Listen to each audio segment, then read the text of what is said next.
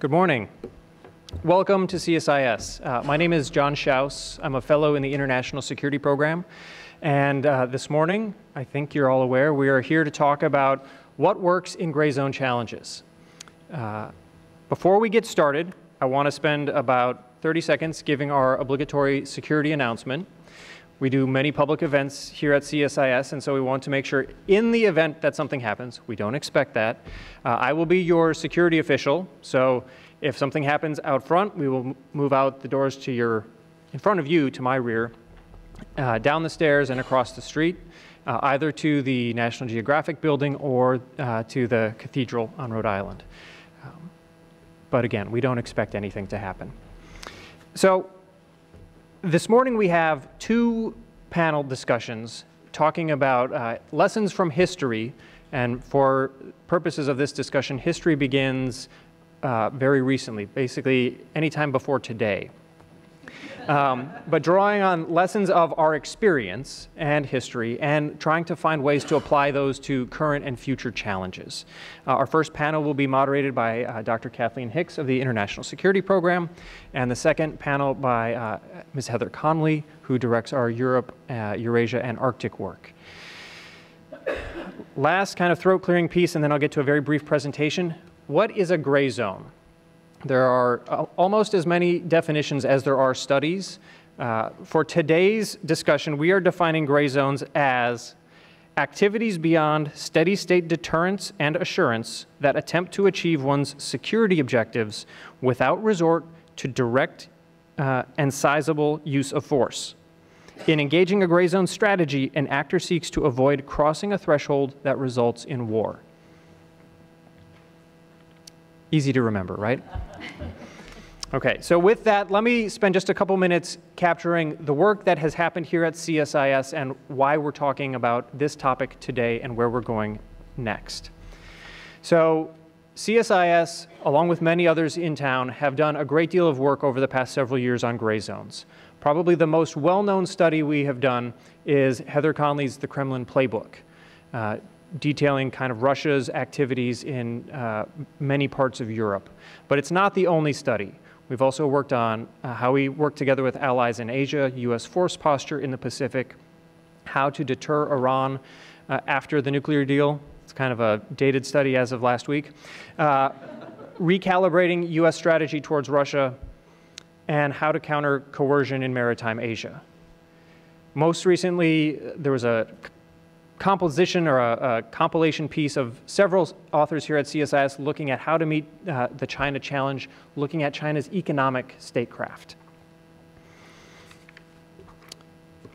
So if you noticed a theme in that is it is that most of those studies were focused on actions of state or non-state actors. So they were looking at the threat vector. Um, they've also largely been studies examining what has happened abroad. But I think one, one of the things you'll hear this morning in both our first and our second panel is that um, gray zone challenges are no longer other people's problems. They aren't just happening somewhere else. For democracies, for countries around the world, they're domestic challenges as well. And so we must contend with them at home and with our allies and partners. Not just the White House, but allies and partners.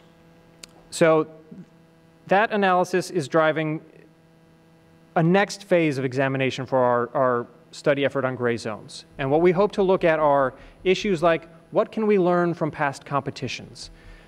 How do we marry gray zone activity with a free and open democratic governance structure? And how do we better employ and synchronize those efforts both domestically, because it requires concerted efforts at home, and with allies and partners abroad? So where are we going currently? This isn't just the same study again, it's the Kremlin Playbook 2. The Europe program is looking at deepening and expanding its previous work looking at Russia to a broader array of challenges and uh, locations. We also have the Defending Democracies initiative led by Suzanne Spalding, which is an effort looking at how the U.S. judicial system is coming under uh, strain from gray zone actors and what can be done to bolster and strengthen that critical element of democratic governance. And then this morning's conversation, gray zone actions and what, what has worked. And I've talked about that uh, already. But specifically today, we'll talk about in the first panel examples of successful gray zone efforts or efforts to counter gray zone coercion. And then in the second panel, we'll try and move from just examples into lessons learned. What can we, both domestically and, and collectively with allies and partners, do better going forward? So clearly today's two panels are uh, populated with some of the leading minds and best practitioners on this topic set. Over, uh, they have extensive careers in academia, in policymaking, and will bring in, I think, a, a, very helpful combination of experiences and perspectives. And hope to engage with each of you as a, as a dialogue after the panel discussion. And with that, I will turn it over to Kathleen Hicks. After two brief uh, final items. Uh, first, an announcement of uh, after the conference, then what? So we're going to capture the proceedings of this conference in a, a short written product, which we hope to push out uh, publicly on the internet, uh, the CSIS website, sometime later this summer. And lastly, but importantly, I want to thank the uh, Foreign Ministry of Finland for offering its support and partnership in putting together this conference. Um, and we hope to do more collaboration in the future. With that, I'll turn it over to Kat.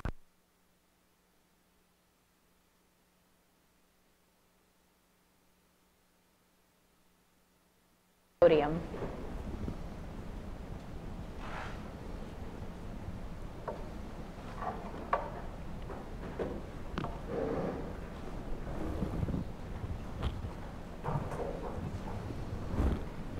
Good morning. Thanks to everyone for joining us today. We have an incredible panel here, uh, both our first panel that I'll be introducing and our second panel, and I'm sure the two topics that John just described will blend into each other a bit.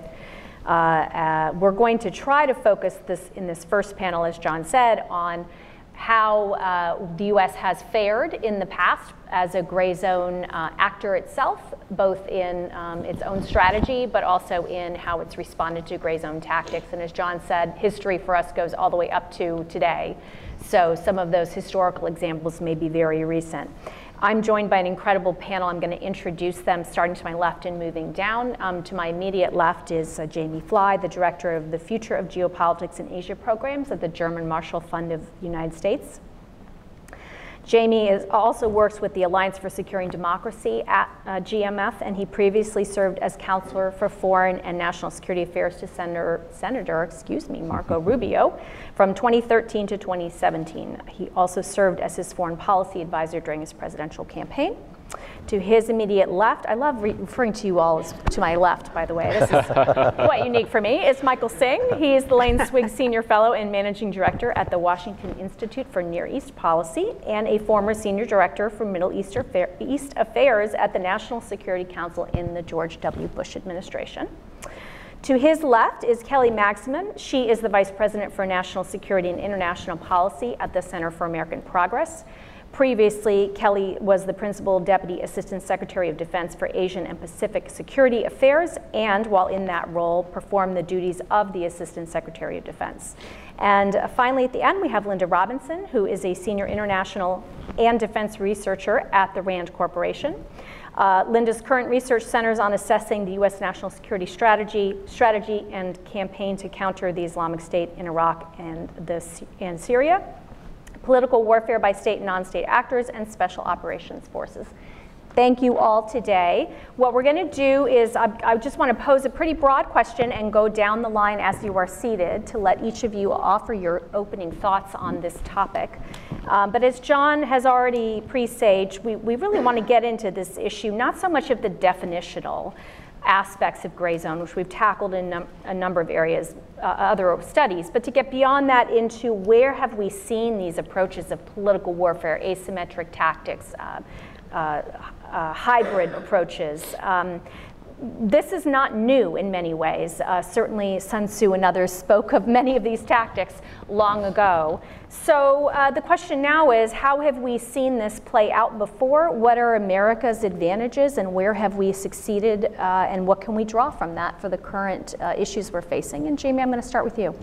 Sure. Um, thanks for uh, having me, Kath, and it's great to be up here with uh, two former colleagues, Mike and, Mike and Kelly. Um, And I'm, I'm really happy to be here at CSIS because you guys are doing great work in this space. And Heather Conley with the Kremlin Playbook has been a, a fantastic resource on these issues that I work on right now, uh, particularly Russian interference.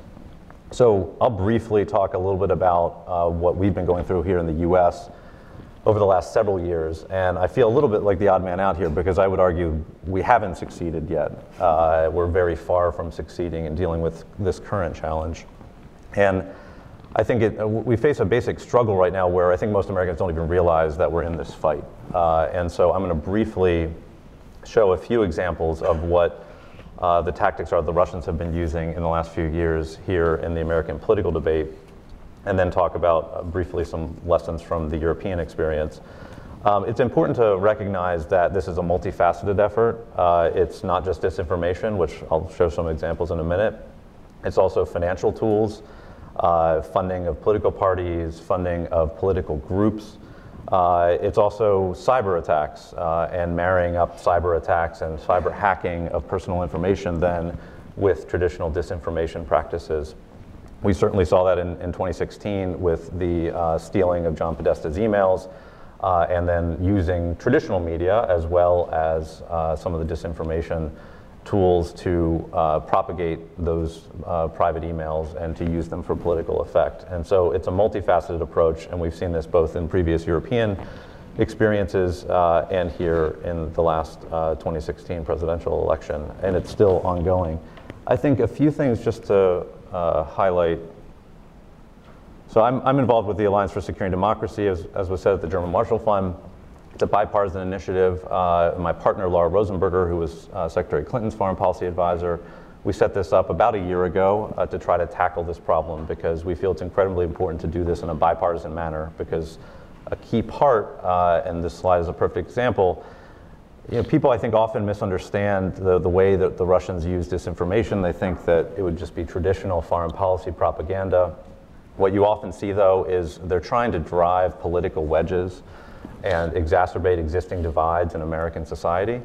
Uh, this was from last September, which obviously shows that this is still an ongoing problem, which is something that people, I think, also fail to grasp. Uh, this, to this day, is still going on on social media in the US and US political conversations. And this was after uh, President Trump weighed in on the NFL anthem discussion. And this is a, a dashboard that we use to track social media activity on, on Twitter uh, from a number, roughly 600 linked, uh, Kremlin linked accounts uh, showing some of the hashtags that they were weighing in on uh, aspects of the NFL debate. Um, so it's very political, it's often domestic uh, topics that have nothing to do with foreign policy. Here's another example uh, from this January with the whole release the memo hashtag. Uh, that obviously was being pushed by many, many average Americans who had strong views about this debate in the House of Representatives about a memo related to the investigation of President Trump. Uh, and we saw uh, these Russian linked networks try to amplify that content. Um, I like to remind people too that these are equal opportunity. Uh, the Russians are not, in, this, in the US context, about supporting one side or the other. Uh, they like to attack all sides. Uh, and this was an effort to push uh, material against Senator John McCain after he voted against the Graham Cassidy health care bill last September. We've seen them attack uh, a number of prominent Republicans, from Mitch McConnell to Paul Ryan, my old boss Marco Rubio, Mitt Romney when he got into his Senate race. Uh, and so it's a common theme. They've also attacked the president and pushed material um, aimed at the Trump administration.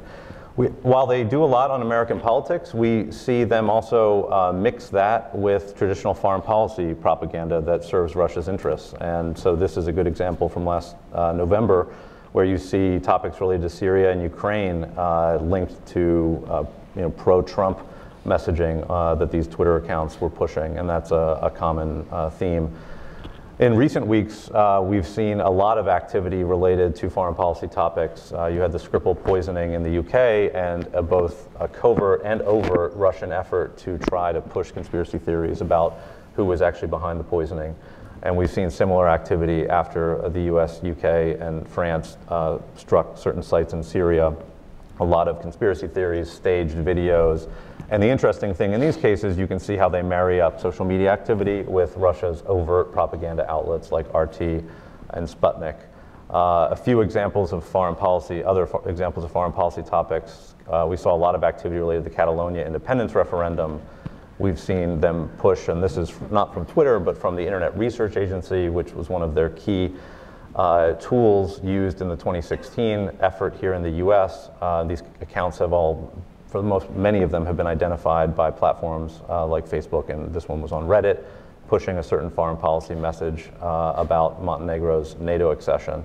Um, so these are just a quick uh, series of highlights. I have many more in there, but I won't uh, show all of them. But you'll see them weigh in on all kinds of things from immigration to race to the foreign policy topics I just highlighted. And the frustrating thing for us is that we as a country, even though this has now been going on for several years, have really only begun to have a conversation about how to tackle uh, this uh, challenge. You can argue that this is an old problem and that the Russians used similar tactics during the Cold War, and there's a certain truth in that. Uh, active measures uh, were common in the Cold War, but we feel because of the use of social media, uh, it's fundamentally different now. We've reached a point where these tools, uh, through these tools, for very little cost, actors sitting in a foreign country can literally reach out to individual Americans, uh, and it could get even more problematic in the future as you marry up big data, hacked information.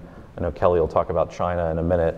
Uh, the Chinese have al already mastered uh, many of those capabilities, and if you look at what they're doing in their near abroad in places like Taiwan, uh, Australia, New Zealand, this could get uh, even scarier in the future in terms of the ability to micro target disinformation and propaganda. So very quickly as I end, um, what's worked in Europe, because a lot of uh, what we're trying to do with the German Marshall Fund is look at the European experience, because I think for far too long we thought that this was just a problem for frontline states, and now the front lines are literally inside the United States uh, on social media. Um, transparency is a key part of it. That's why we show images like this, because we need to raise awareness, and people need to understand that this is going on. Um, deterrence is a key part of it. Uh, that's also where we're very concerned with what this administration is, is not doing. If you look especially at several of the recent Western European elections, the French and German elections, and you talk to French and German officials, they believe a key part of why they were able, able to keep these tactics to a minimum were the direct, very clear threats that they conveyed to their Russian counterparts. It's not clear to us that that is happening in this case uh, here in the US. We've had uh, sanctions obviously imposed, led by Congress. You've had some administration officials talk about this problem publicly uh, and issue kind of vaguely worded warnings about staying out of our politics. Um, but what I think we learned from the Obama administration's experience in 2016, the warnings need to be very specific. They can't be uh, just done through intelligence channels. They need to go directly to the highest levels of the Kremlin uh, and they need to be repeated uh, if the uh, behavior is not changed. And uh, I don't think we're really at that point. Finally, what we need to do is we need to build resilience because I think another uh, lesson from the Cold War era, you can never eliminate these threats entirely. Uh, obviously, they're low cost, they're very easy to do. We have open democratic societies with inherent vulnerabilities that are going to be exploited. And so at the end of the day, you need to build up your internal defenses. Some of that's public awareness, some of it's working with the private sector and the tech companies to make it more difficult for people to exploit their uh, platforms. Some of it's Congress taking action, and we've put out a number of, of products at GMF highlighting all of the bipartisan pieces of legislation that have already been introduced uh, that tackle different aspects of this problem, whether it's the ability to purchase ads on Facebook, or the fact that many states uh, don't have enough resources to protect their elections infrastructure. So there are a lot of things that government can do as well. And then at the end of the day, uh, we always say that civil society needs, needs to play a key role because uh, the only way to deal with this sort of problem when you have people trying to insert certain messaging into our political conversations, especially through social media, is more informed users and more cautious users who think twice before they just believe whatever shows up on their news feed or ask questions about why something's actually showing up on, on their news feed or being shared by a friend on, on Facebook. And so uh, at the end of the day, I think building resilience is the only way that you can make yourself more immune to these threats. Great. Thank you very much, Michael.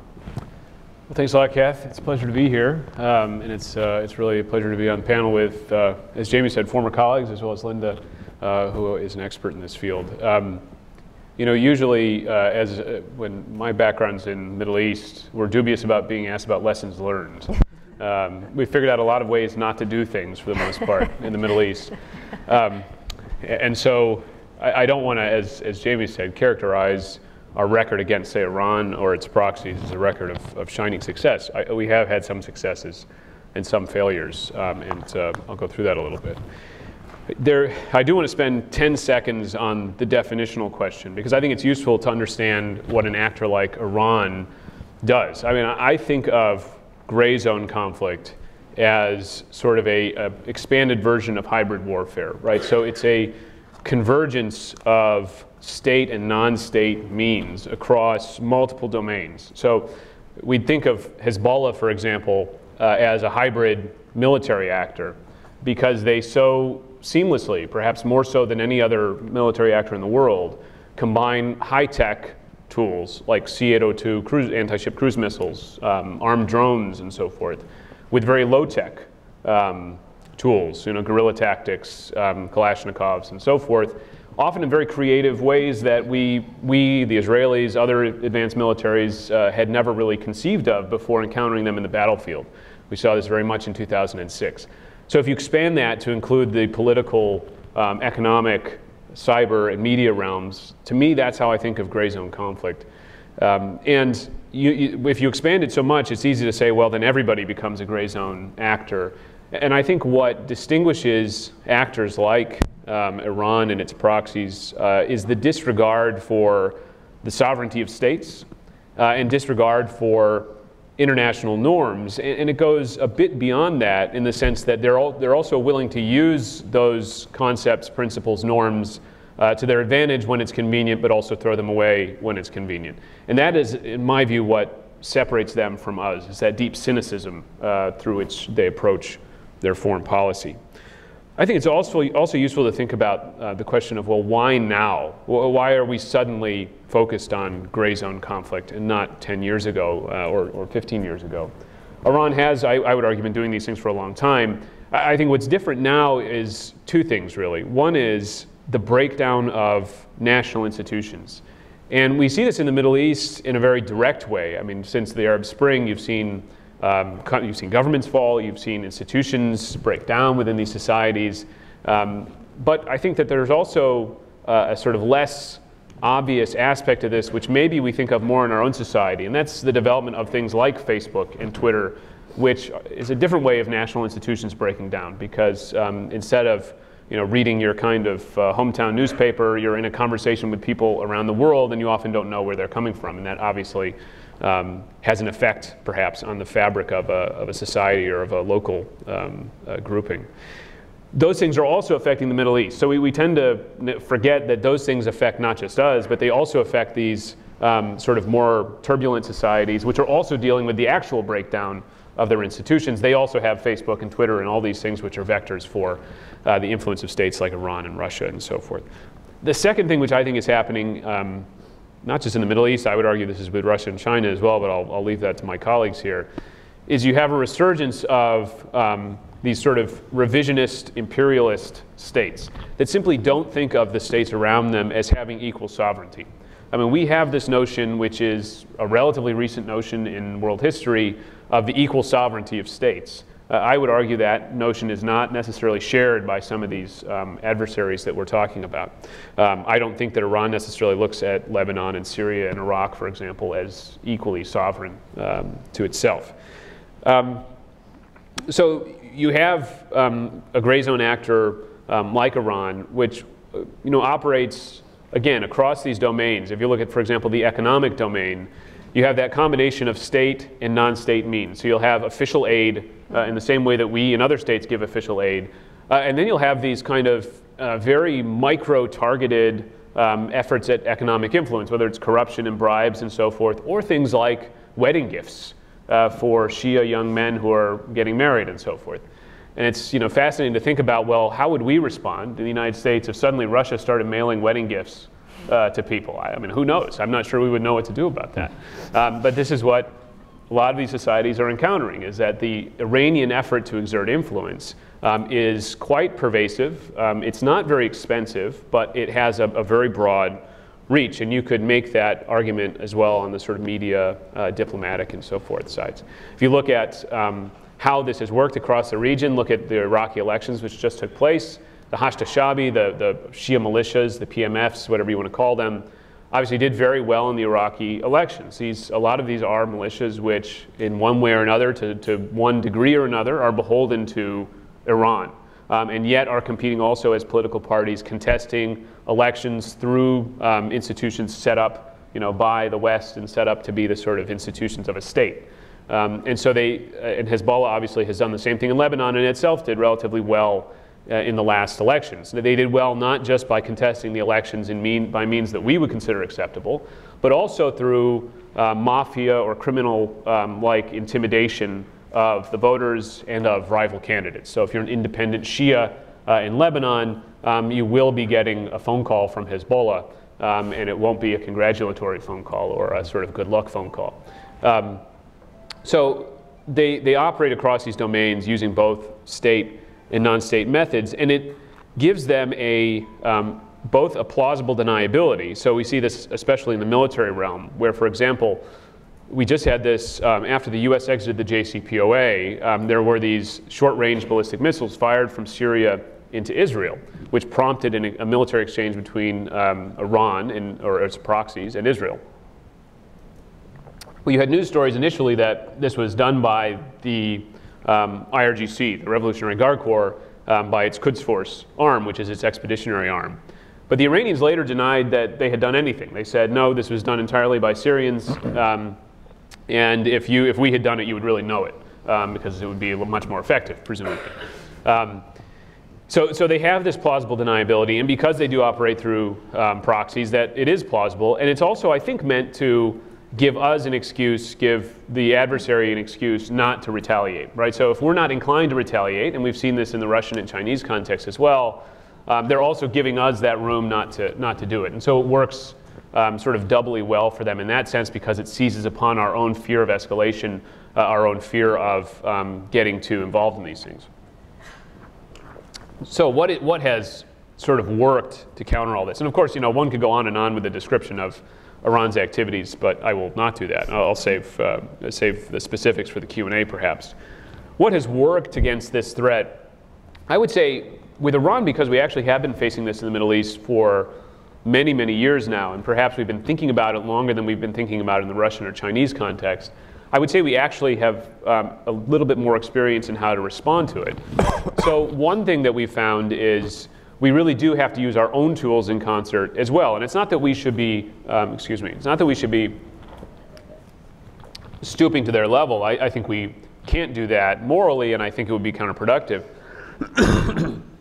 but we do need to integrate things like our military response with our diplomatic response, with our sanctions response, and so forth. And we need to also adapt our bureaucracy to do that. And so if you look at the US response to Iran over, I'd say, the last 12 years, 12 years ago, at the beginning of the P5 plus one process, we had no Iran desk officer at the State Department. Um, there was one person who shared Iran and other things in their portfolio. At the NSC, uh, we had no Iran director, not even a single one. We had the, the person who preceded me as Iran director was also responsible for the Israeli-Palestinian conflict in Jordan. Uh, and she did a fabulous job of all those things, but you know, it's one person, uh, three big portfolios. Um, so we not only expanded the, the amount of resources we focused on Iran, but I would say that we um, were innovative in how we molded our bureaucracy to, to cope with the challenge. So for example, now it's taken as um, a given that the Treasury Department would be at the National Security uh, Council uh, table um, for meetings at both the kind of working level and at the senior level. That certainly has not always been the case, and it is in large part a product of this particular threat, Iran. Also North Korea, also a couple of other things, but I would say Iran more than anything else. And it's for that reason that Treasury is now seen as a national security um, agency. As we think about all these other threats, like the, the threat of um, subversion through social media and so forth, you might ask, well, what other agencies might need to be there? I do feel like one of the difficulties in responding to something like this, which Jamie is showing us, is as you look around that table at the NSC in the White House Situation Room, it's not clearly anybody's responsibility. And, then many people feel as though it's explicitly not their responsibility. So if you're the CIA, for example, you know, starting to comment on Facebook is not really what your what you're uh, designed to do or, or, legally allowed to do, right? Um, so coming up with new authorities involving new people at the table, uh, I think has been very important. And also then structuring the process um, so that we're looking at all the different angles of the threat. Something that the Bush administration did and that the Obama administration also did was it really sort of expanded the aperture of how we look at these threats. So we would have, for example, in the Bush administration, we had this uh, Iran-Syria working group which tried to bring in a lot of different task forces to look at different aspects of the threat. Um, the Obama administration continued with those sorts of efforts. Um, I think that when you're dealing with these threats, you also have to act boldly. So there is that effort by the adversary to keep the conflict below a certain level. Um, and we tend to cooperate in that. We tend to be ourselves deterred. And I think that oftentimes that's counterproductive, even if you can understand why we wouldn't want to risk escalation. Um, risking escalation is one thing if you're talking about Russia and China. Um, if you're talking about Iran, we clearly have sort of escalation dominance in most circumstances. And what we have found, I would argue, is when we have been willing to escalate, um, we have um, pushed the Iranians back, whether that's in the 1980s, um, uh, in, the, in the aftermath of the tanker war, Operation Praying Mantis, um, or in, say, 2007 in Iraq, where we actually finally, after much sort of gray zone conflict, um, took direct action against uh, Iranians, although even then um, we tend to, in retrospect, kind of burnish what we actually did. We were still pretty hesitant, I would argue. But when we act boldly, I think we can, we can cause these states to um, be a bit on their back heel because their strategy is based upon the fact that they'll be able to prevent us from actually acting boldly. Um, you could look at the Russians that were, um, the Russian mercenaries in Syria that were recently engaged in a conflict with the United States and maybe make the same point. Um, I would argue that part of something we haven't done yet, but we've always debated with Iran is taking the fight to the opponent's sanctuary. If we're talking strictly about hybrid warfare, um, we would say that that's very important. You know, if you have a guerrilla force, if you have a force which is trying to hide in a civilian population, for example, taking the fight to them, taking the fight, denying them sanctuary would be important. Um, when you're talking about states like Iran, Russia, and China, obviously that's a different question. But there, I think, does need to be some sense on the part of that actor that their, that their sanctuary isn't, in fact, sacrosanct, that we're not, in fact, deterred from taking direct action against them, although obviously you have to be careful uh, in how you do that.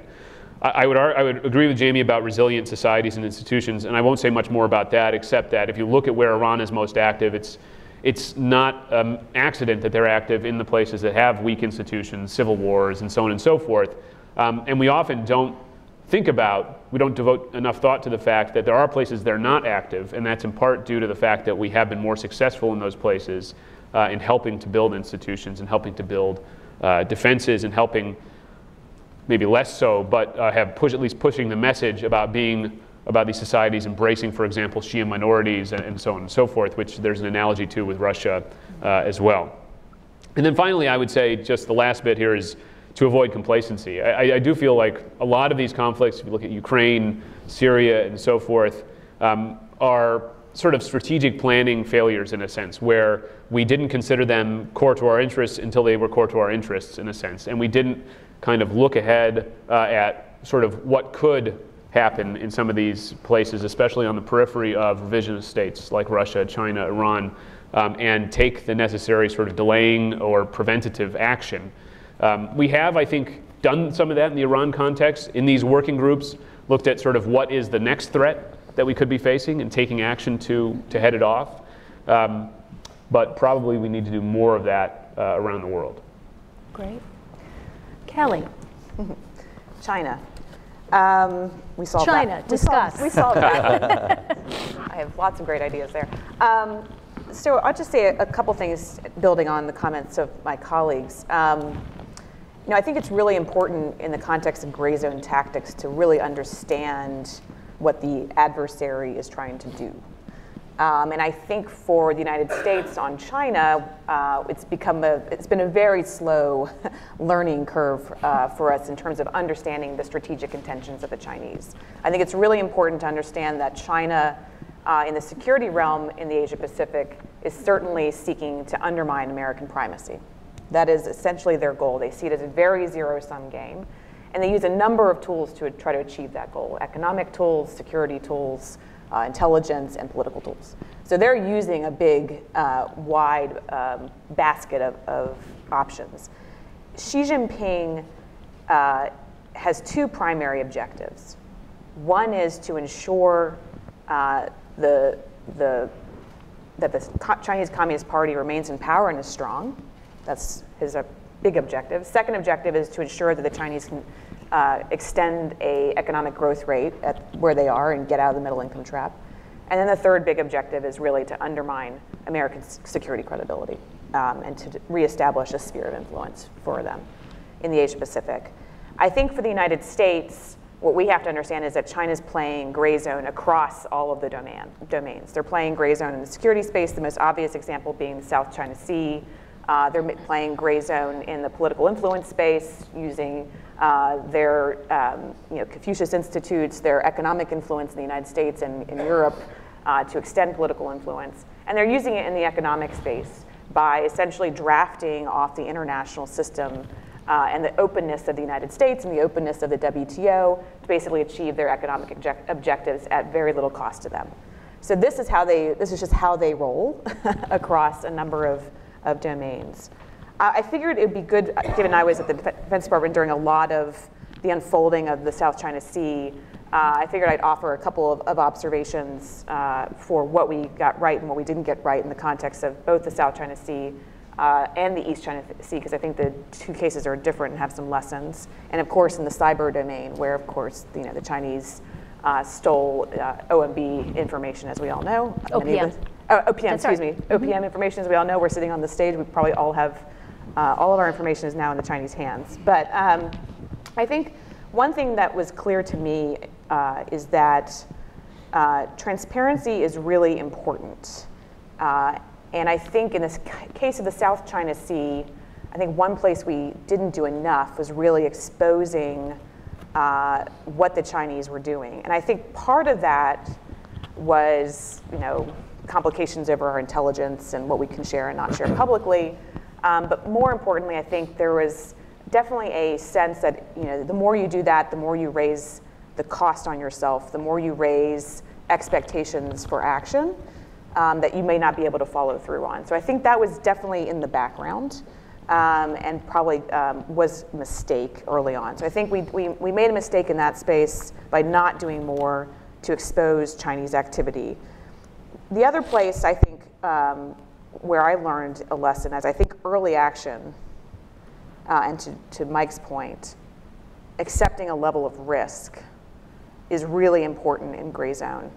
Um, and when I say early action, I don't necessarily mean military action. I think that's also potentially a very dangerous place to go in the context of, of um, some of these gray zone conflicts.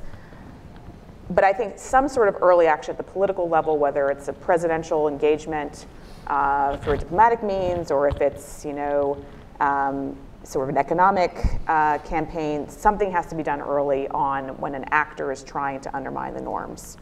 Um, and the, the, dominant actor, in this case the United States, needs to be able to accept a level of risk in that space.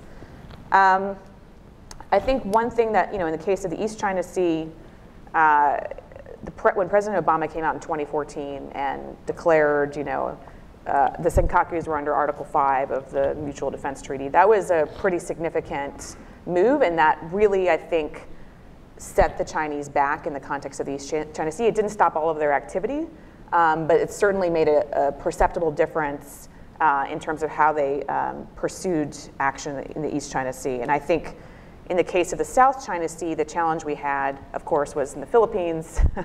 um, we had a bit of a change of, a, of a administration. Duterte came in and kind of threw, you know, threw the baby out with the bathwater and um, sort of made accommodation with the Chinese, and it put us in a position, I think, where it was very difficult to be more Catholic than the Pope.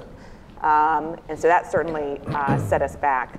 Um, but I think the early security commitment, I mean, certainly clarifications probably could have been made over certain aspects of Philippine uh, territory that we could have made.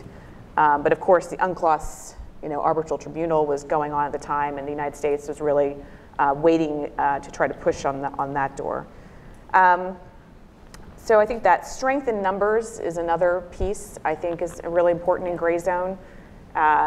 Uh, you know, there was a lot of focus on U.S. Uh, freedom of navigation operations.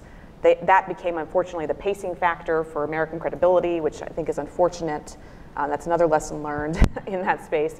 Um, and of course, you know, our allies, you know, the Australians and others, um, and our European allies, I don't think we did enough to really kind of um, build a coalition around freedom of navigation.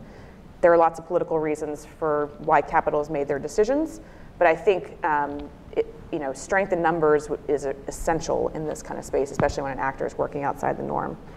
Um, the other piece is uh, my lesson learned on South China Sea is it's really important to broaden and lengthen your response. So the, the actor wants you to have a response in the immediate zone. So you know, China really was looking for some sort of U.S. response in the South China Sea um, to sort of test our credibility. I think the key is to really widen what the US does and look at ways to push back on the Chinese across the national level on, on other interests that they may have in the, in the region and globally. Um, and to, that gives you space, it gives you decision space, uh, and it also um, raises the cost on the actor of the action they are taking by essentially saying, okay, well, if you're going to mess here, we may mess in Taiwan. Or so I think there's now there's risk in that, but I also think that for an actor that is seeking to undermine um, international law and rules, there's got to be some sort of uh, broader U.S. government response. I think the challenge, you know, the cyber, um, the cyber situation is instructive also because President Obama really went in with a very clear and specific message to the Chinese. It was a specific threat that he intended to follow through on, and it actually achieved an impact on some of their activity. I think in the South China Sea, more specificity probably was necessary uh, in terms of what we deemed un, unacceptable militarization, for example, of the islands uh, and the reefs. So, and especially with the Chinese, it's very important to be clear, specific, and consistent um, in the diplomatic messaging and the strategic messaging space. Um, but those, that's, I'll leave it at that. But there's, there's lots of, I mean, the China, this is going to be, a, like Jamie said, this is going to be a, a problem that's going to get worse, I think, over time. Mm-hmm. Uh, and the Chinese are doing it not just in the security domain, but more broadly in the economic domain, which I actually think is even harder to address. Great. Linda, I failed to mention in your intro that you have just completed a book, so I get to say you wrote the book on uh, modern political warfare for RAND, along with colleagues. So uh, I should have mentioned that at the beginning, but please, over to you. Thank you, Kath, and uh, thank you all for the great work you've done here at CSIS. And I am going to uh, frame uh, my remarks with a, a quick overview of this study um, and then address our specific task with the panel uh, with a couple of examples um, that may uh, provide some avenues for further discussion. Our modern political warfare study is online, available free download at RAND, so you can uh, um, uh, obtain that readily if you wish. The, um, and I appreciate the definitional uh, uh, terms that you've adopted here because those roughly approximate uh, what we ha have done in our study. And our starting point and the use of the term political warfare uh, traces back to Kennan's uh, Cold War definition.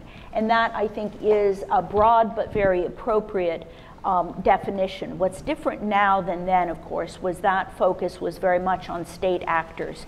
And the critical difference, I think, that you've adopted here is to apply gray zone to non-state actors as well. I think it's very important to note that this, uh, these tactics are in fact applied uh, by a wide range of actors. Now, uh, there are elements that a state, a fully fledged state can apply that a non-state actor doesn't.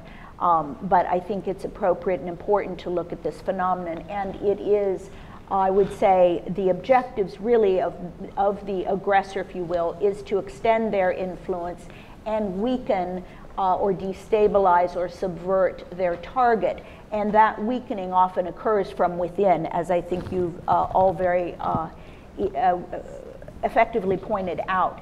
Uh, but at the bottom, I think we need to sort of, it's a contest, it's a competition, but I'll start and end with this main point. It is a form of warfare. Uh, there's actually a doctrinal term that DoD uses, irregular warfare. Uh, so without getting into the word soup, uh, I think it is very important for uh, the US to, to start grappling with this as a form of warfare, which I think will galvanize the necessary actions that have not yet been taken. So to uh, provide you a brief overview of our study, we did um, frame uh, and bound the concept. We had a first chapter looking at the Cold War history and the practices uh, that the U.S. Uh, undertook at that time. And I'll mention briefly a few examples from that history. We then uh, conducted deep case studies, uh, Russia, Iran, uh, and the Islamic State. We also examined some other uh, practices that are being used actually in the private sector, which might approximate a form of political warfare. The, um, the uh, case studies were uh, uh, done in a great, very great depth and using the, the DIME, the Diplomatic, Informational, Military, and Economic Construct, or DIMEFIL. So we were looking across the spectrum of activities in each case. We also looked for what passed for a theory or a strategy or the doctrinal basis of that actor uh, to, to um, try to probe the logic but behind these disparate activities. Because that is the, one of the difficult things about this uh, form of warfare is it's very subtle it's very multifaceted uh, it's very hard to track and say all of these different data points over time add up to a concerted campaign. And then the final uh, chapters of our uh, work uh, look at, we have a particular one on influence and strategic communications. And again, I think we'd all agree that the informational space is different uh, than in the, in the past, in the Cold War period. And it's, it was important then, but now it's extremely uh, important uh, given the tools at the disposal uh, of the actors. Um, so briefly on the history, I would point to our own history that um, the Reagan doctrine included a very deliberate emphasis on using proxies or freedom fighters, as uh, Reagan, uh, the Reagan administration, Reagan administration dubbed them. And whether you think these specific cases were successful or not, I'll just mention them without going into great detail. Of course, the uh, campaign against the Soviet occupation of Afghanistan using uh, the Northern uh, alliance and the Mujahideen that got, uh, was successful in ejecting the Soviet Union. Uh, the uh, Angola and Nicaraguan Contras were the other uh, two uh, elements of that. Also, I think it's very important to look at the solidarity experience in Poland, and I think the U.S. was extremely effective there in uh, an array of support to that civilian movement. And you'll see in my next example these uh, these are themes about, I think, where, where we can gain the most traction. Of course, in the Cold War, I will note, we had an institution called USIA, the U.S. Information Agency. We had very robust and connected U.S. Agency uh, for International Development and State Department. So, so those were fully uh, engaged partners lead elements of our government. And they were really focused in many cases on the communication and support to, to uh, partners around the world. The one case I want to highlight here, and I went, I spent a good bit of time in the Baltics and a good bit of time, particularly in Estonia. Uh, they, of course, were uh, subject to a massive denial of service attack by Russia oh, in 2007 around this incident called the Bronze Soldier incident. Without going into great uh, detail, the Estonian um, government and society, I think, represents the model type of response. They have um, they have a top to bottom approach, the national policy level has a written plan, has a strategy. They have connected their Ministry of Interior and Defense. They have civilian groups, including the Estonian Defense League uh, and other civil society groups. They all understand their part in the plan. They exercise it. They, they have what I consider the premier whole of government and whole of society uh, approach to combating Russian interference. They're also the home of the NATO uh, Cyber Center of Excellence, uh, in, and founded there in part because of their earlier experience uh, being attacked by Russia, but also because they uh, are a very cyber connected um, society and government. Virtually everything they do is online, so it's imperative to them that they um, uh, harden uh, their defenses. They also put out, very interestingly, an annual report, a very detailed annual report of all of these activities across this DIMEFIL spectrum. It's posted online. It's a public uh, exposure of the tactics that they are being uh, subjected to, and it accomplishes uh, a number of um, um, objectives with that uh, detailed reporting and uh, public exposure. I would characterize their approach overall as one of increasing their resilience and preparing to resist. The resistance concept is, I think, the most uh, uh um, viable concept uh, for framing the responses. We also have in the in U.S. military doctrine unconventional warfare, which is really the doctrine of support to proxies and resistance movements. Um, but I think that, that the key thought that animates Estonians is they are not preparing to uh, confront conventional war. They're not preparing to eject uh, Soviet armored formations. They understand they're already at war. Uh, and they're in it now and they're dealing with it now. And I think that this is not, while I believe the US government is not really focused on this as a form of warfare, I would cite the Secretary of Defense, um, uh, General Mattis, as characterizing the US as in an era of permanent skirmishing. And I think that's a nice uh, phrase that really represents this this uh, sort of uh, challenge going on around the world by different countries. Where we're focused now, because the US government doesn't have a systematic way of tracking uh, the forms of uh, probes that other countries, as well as the US, are under, is, is an updated version of an indicators and warning model so that we understand what's happening at these early phases so that the appropriate proactive responses uh, can be met. Uh, so I just would end with what we found were the main attributes across our case studies of this uh, form of warfare today. As we noted, it is also non-state actors today. They can uh, conduct warfare of this type with unprecedented ability. And in the case of the Islamic State, which I spent uh, much of the last four years studying, they were a quasi-state uh, terrorist group that is going to set the playbook for every future uh, non-state actor. They developed extremely effective tactics across the spectrum, not just in their active and effective social use of social media, encrypted apps, and so forth.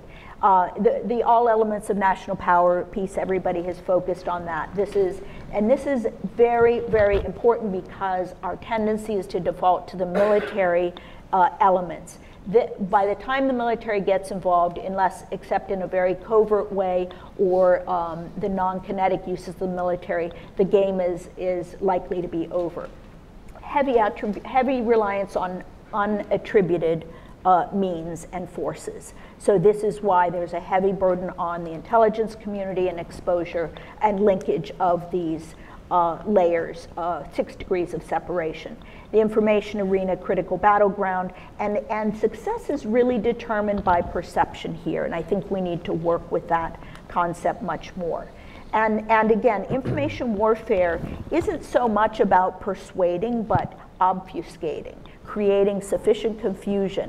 Um, our uh, RAND president has put out a book that I think is terrific called Truth Decay. There are a lot of other works out about this. But when people don't understand what's true and what's false anymore, again, the enemy is, is close to winning. Uh, economic leverage and coercion, preferred tools. I would, I think that China is really the premier example here. Um, and, and we, uh, Robert Blackwill's written a great book about that. Uh, I think we need to be much more alert to that. And then uh, the political warfare or gray zone tactics really succeed when they find a seam. They can enter into a society through, as in, in the case of the Baltics, shared ethnic uh, bonds, uh, to some degree in the Middle East through religious bonds, internal seams is really the theme, though. They get in and they exploit the divisions in a society uh, and, and can weaken in that fashion. And then finally, it's not an either or situation. It extends the spectrum of warfare, doesn't replace traditional conflict. So I don't want to be mistaken for uh, discarding that we still have conventional and thermonuclear war to worry about, uh, but because this is the most cost effective way to conduct warfare, it is the major default for most of the adversaries in the world today. Thank you very much. Really phenomenal insights. I'm just going to ask one or two questions and then we'll go to the audience. So please um, start thinking about what you want to ask. Um, one theme that came across, and there are a number, but one theme that strikes me that comes across is the role of civil society, and that could be our civil society, it could be a, a, a partner or ally country.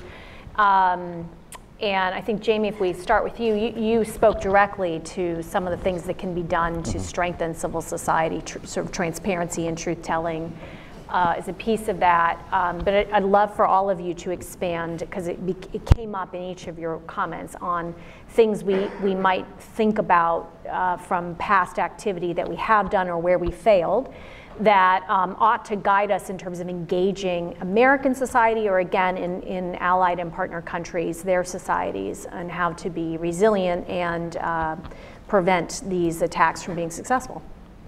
Yeah, in the in the U.S. context, it's it's difficult because what we've noticed when we look at various European national experiences, some of the countries that have been the most resilient are because of things like media culture, which obviously it's hard to change the US media culture at this point. Uh, more and more Americans are getting their news and information from social media.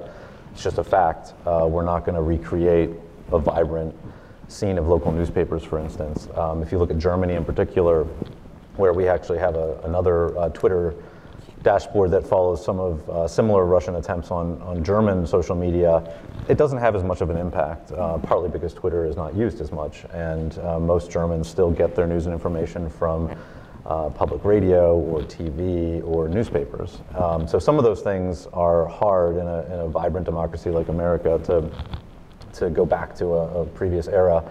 Um, but what is required, I think, is just more education and understanding, and some of that gets into the broader question of the health of our democracy, because obviously if we had no problems in America and there were no divisions and uh, no racial issues or uh, debates about immigration, then there wouldn't be these seams that uh, the Russians or another foreign actor could try to exploit. Um, so again, we're never going to solve all those problems, but the more that we can move towards a, a situation where debate can be civil, uh, where our more Americans have trust in our institutions, uh, I think it's going to be harder for people to uh, to take advantage of, of us. Um, one thing, though, that a number of the, my colleagues raised that I think relates to this I also think we need a national conversation at some point, certainly in, in the policy community within government, about how we respond and use political warfare and what the limits are of, of where we're willing to go and where we're not willing to go. I've been troubled in particular just in the last year or two seeing some congressional testimony from uh, DoD officials uh, about, oh, well, these may be tactics that we're able to use on the battlefield. Um, I think that we can't lose sight of what our strengths are, and our strengths at the end of the day are that uh, we're a society that is based upon truth. Mm-hmm. Uh, as, as was noted, the Russian effort is one to basically decay truth and raise questions about whether there is any uh, valid truth. Uh, and so I think we need to be very careful about responding in kind mm-hmm. Uh, to whether it's to Russia or whether it's to a terrorist group, even. I think uh, if we head in that direction, we're just going to exacerbate the problem within our own societies and cause more and more Americans to question uh, their own government and their own mm-hmm. institutions. And so I think it's a very fine line that, that we need to walk. The difference between responding to disinformation with disinformation yes. and responding to disinformation with information. Yeah. yeah. Well, I think it's a, it's a challenging question in the Middle East context, how to support civil society, especially in the context of this gray zone conflict. Um, and I, I, don't frankly think it's something we have done well over the years.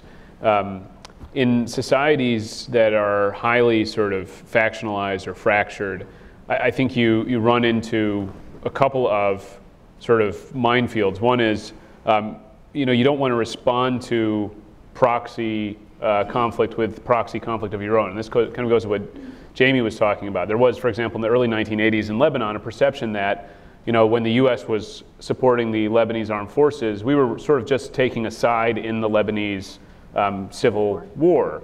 Um, and that almost, um, the risk there is that you almost legitimize the tactics of the other side by employing those tactics yourself. Um, so, so you have to be careful of that, and you could expand that to any number of theaters around the Middle East. the, the other problem that we've encountered is that, well, some of the forces which um, are best organized um, and might be opposed to a state like Iran are also opposed to us. Uh, and so it's not a simple two sided conflict on which you can kind of just support the other side, as it were, um, uh, in the way that we kind of romantically remember the Cold War, right? I'm not sure it was true then either. Um, but it certainly isn't true in the Middle East, um, and that we've run into a lot of problems with that, and that's caused us in many cases to pull back um, from any kind of support to civil society.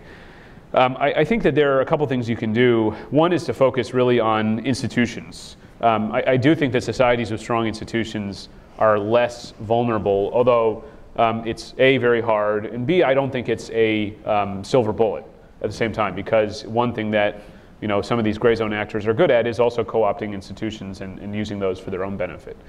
Um, second, I do think that it's probably most important and maybe most effective to um, speak out for civil society, defend civil society um, in allied states. Um, you know, so for example, in a, a place uh, like Saudi Arabia or Bahrain, where you have a Shia um, population, um, I do think that we can play an important role because we're allies to those states in um, basically speaking up for those um, uh, persecuted, I keep, we'll keep wanting to say minorities, they're not always minorities, um, those persecuted parts of the population, um, ensuring that there is a sort of uh, spotlight shined on that issue um, so that those don't become vectors for the influence of a state like Iran or um, in other contexts, Russia, China, and so forth. Okay. Callie.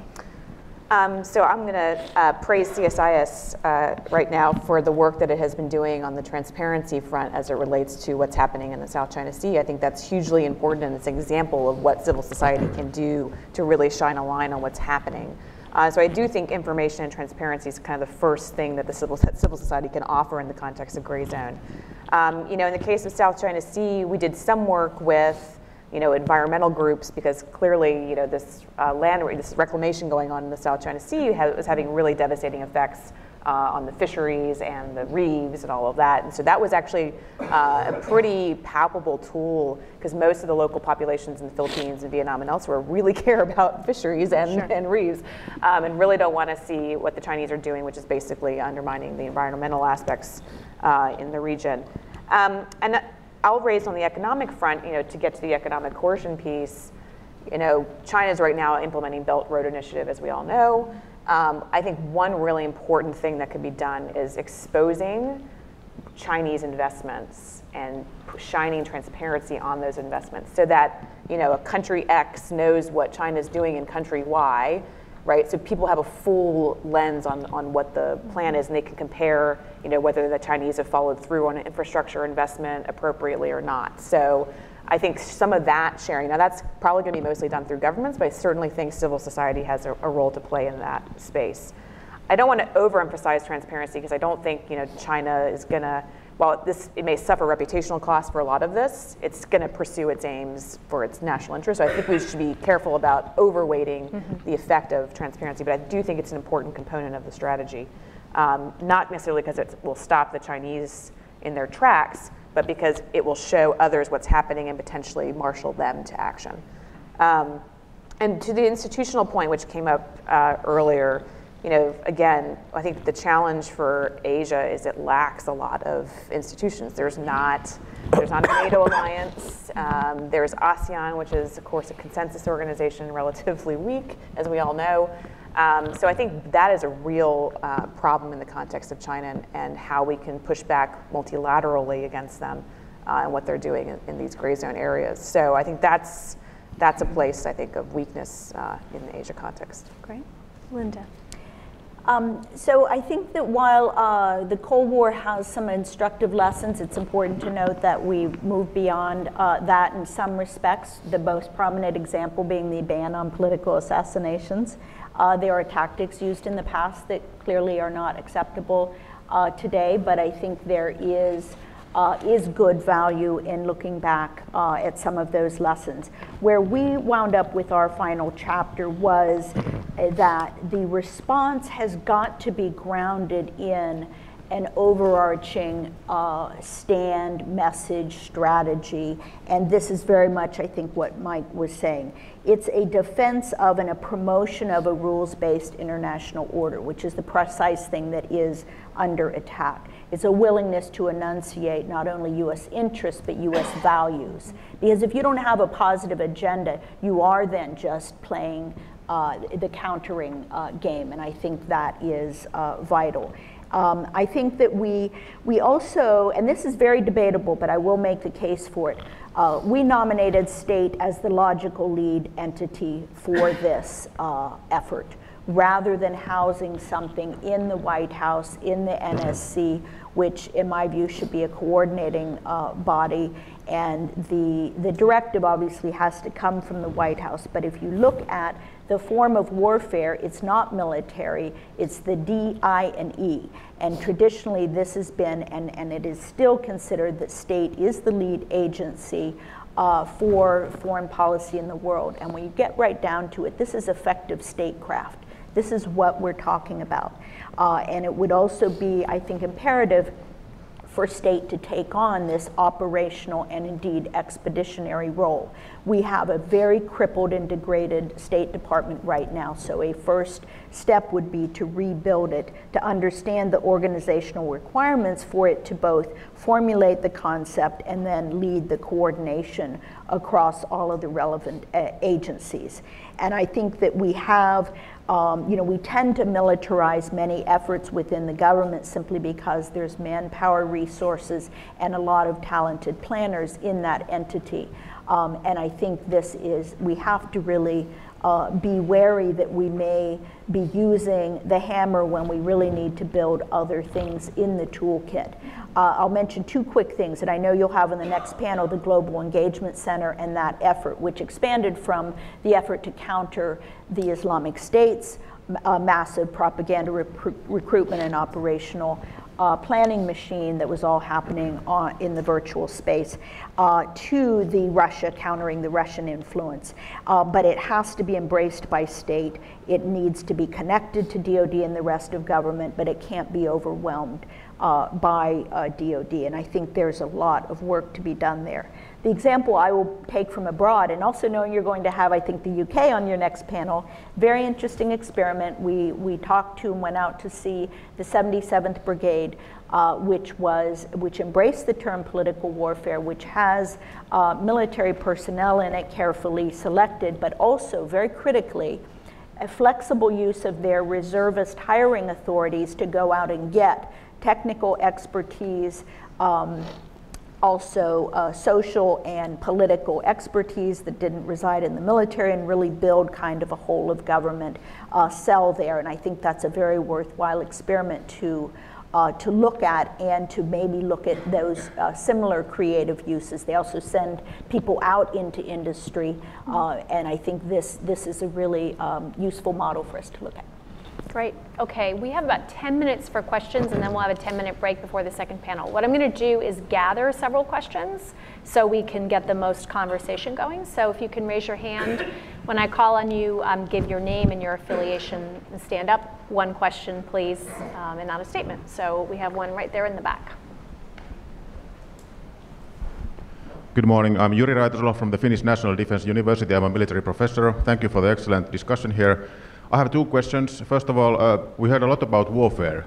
Information warfare was mentioned, uh, cyber warfare, hybrid warfare, and, and political warfare. So I would argue that we are rather uh, wealthy, rather secure today. So if we use all of these terms warfare all the time today, uh, how much analytical utility is there when things start going really bad, uh, potentially in the future? So if we put political rhetorics aside, is there really that much analytical utility to see everything through the lenses of warfare today? And the second question would be concerning information arena and fake news. Uh, could you mention some examples about how we have all been fooled by, for example, Russia's fake news that our, our citizens and our strategic decision makers have been changing their own beliefs or our national narratives about, uh, about some uh, important uh, fact of, of international security because I do think that we quite often see Russia being very very uh, good in, in, in, creating fake news, but are they really that effective? Thank you. Very good. Just a reminder, one question and questions only, so we'll come right over here.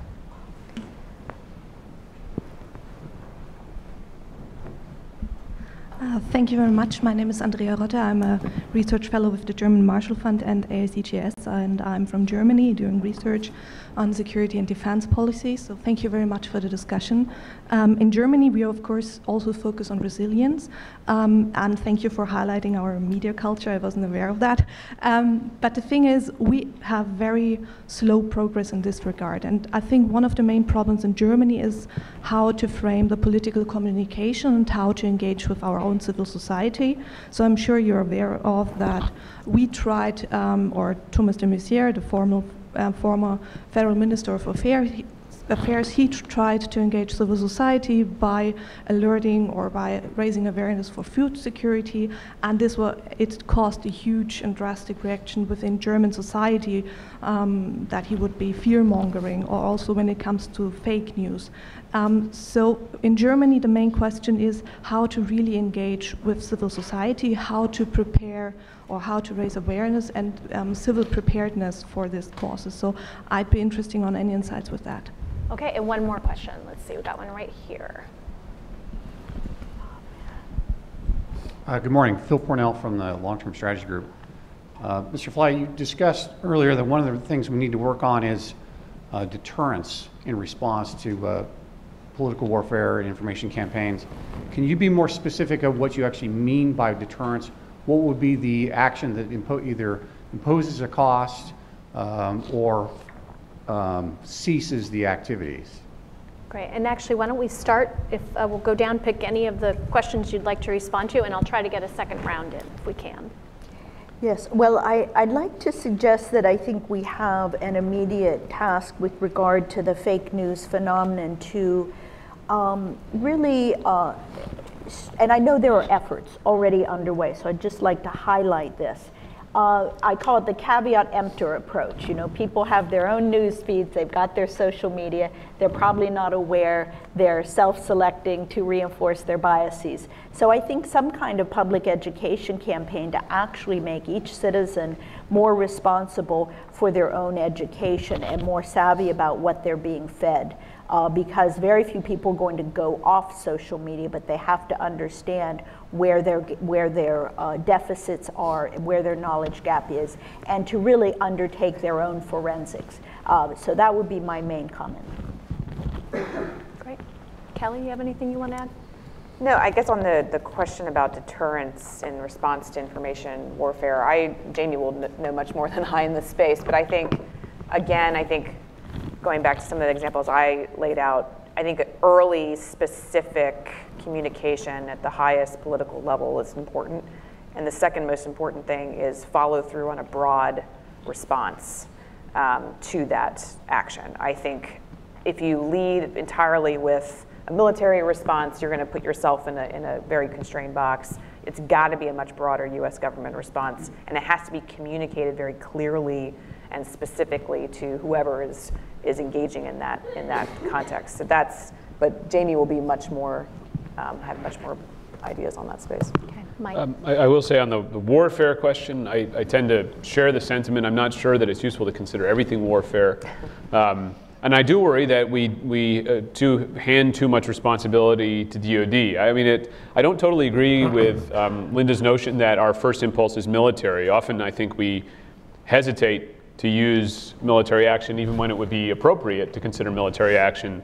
Um, instead, I think our default often is sanctions or, or um, a meeting or something like that. But oftentimes we, we give even the non-military tasks to the military to do. We, we sort of diplomatize the military uh, in many cases. And I think there's, I mean, the, to me, it's uh, uh, a problem with a kind of straightforward solution that seems to elude us, which is we really need to strengthen our diplomatic um, and other non-military tools. I mean, you know, the State Department um, needs to be strengthened, and, and, oftentimes that's sort of put uh, characterized as well. It needs more money. I actually don't think that that's the key thing. I think we actually need to take a look at our diplomacy and ask how does it need to be updated for the 21st century because it really hasn't been updated in a very long time.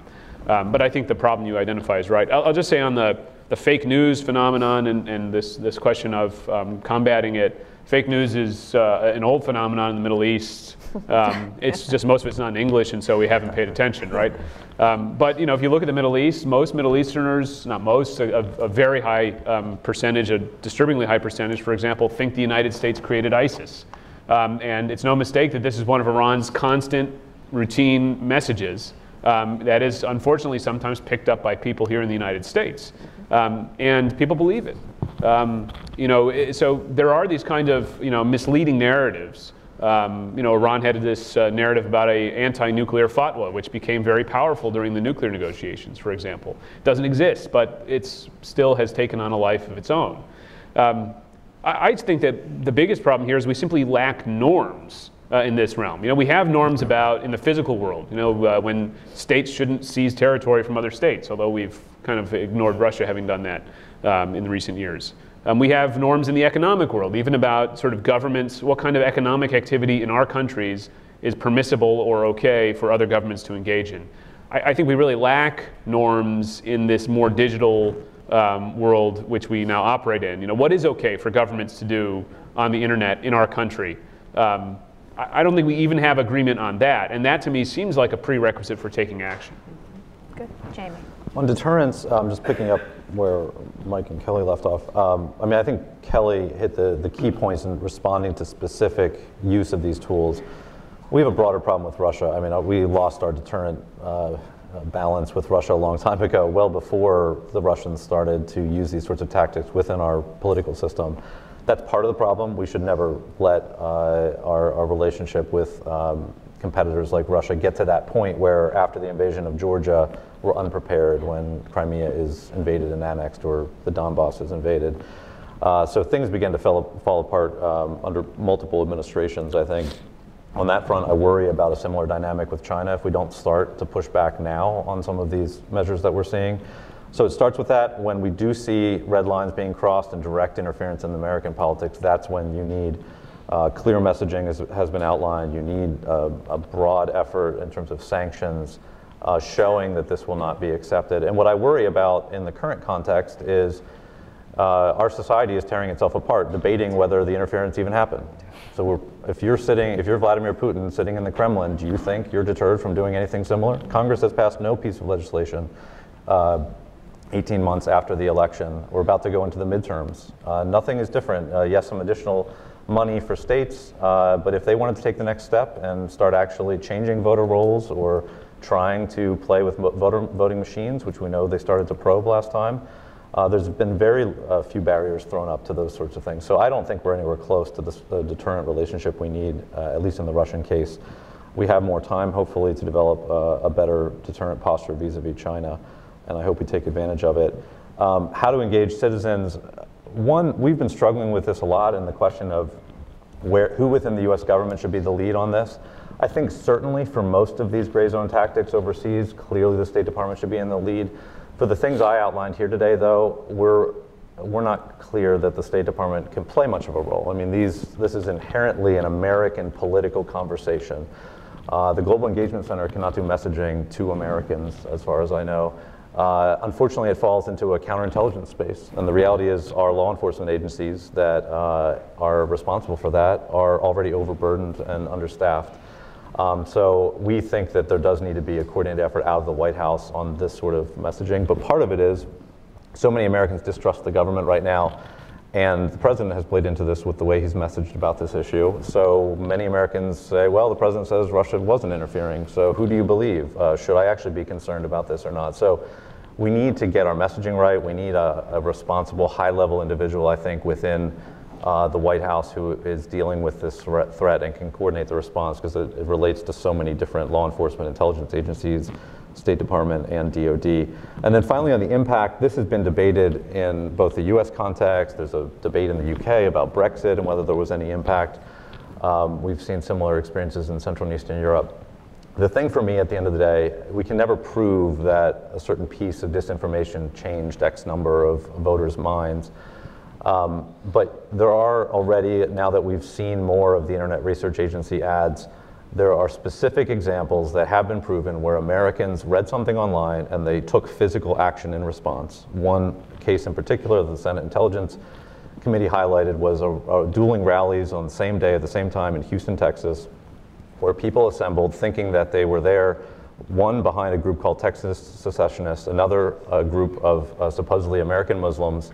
These were Internet Research Agency created groups manned entirely by people sitting in a foreign country, and they led to hundreds of Americans turning out in the street for dueling protests. Now, the Russians hoped to actually provoke violence on that day, and luckily it didn't happen because the police were there and kept the two sides apart. But that is an example of people doing something in response to something they just saw on the internet that was created uh, by a foreign actor with a malign intent. The Mueller indictment documented multiple other instances of similar rallies being organized in support of uh, then candidate Trump in swing states. And again, there were no actual Americans involved in creating the idea that we should all assemble in this place at this time, but real Americans did show up uh, in response. And obviously, they may have gotten together anyways in some other form if they were a Trump supporter, which is fine, it's their right. Uh, but these are just the leading edge, I think, of several examples we've seen. Uh, and I think uh, there's probably many more as we learn more about the actual tactics that were used. Um, and that's the, the truly troubling thing about uh, these efforts. Well, the good news is you have first break, but then you have a full panel where you can dig back into these issues led by my extremely capable colleague, Heather Conley. So please join me in a round of applause for this panel, and we will take a five minute break. It's really great. Thank you.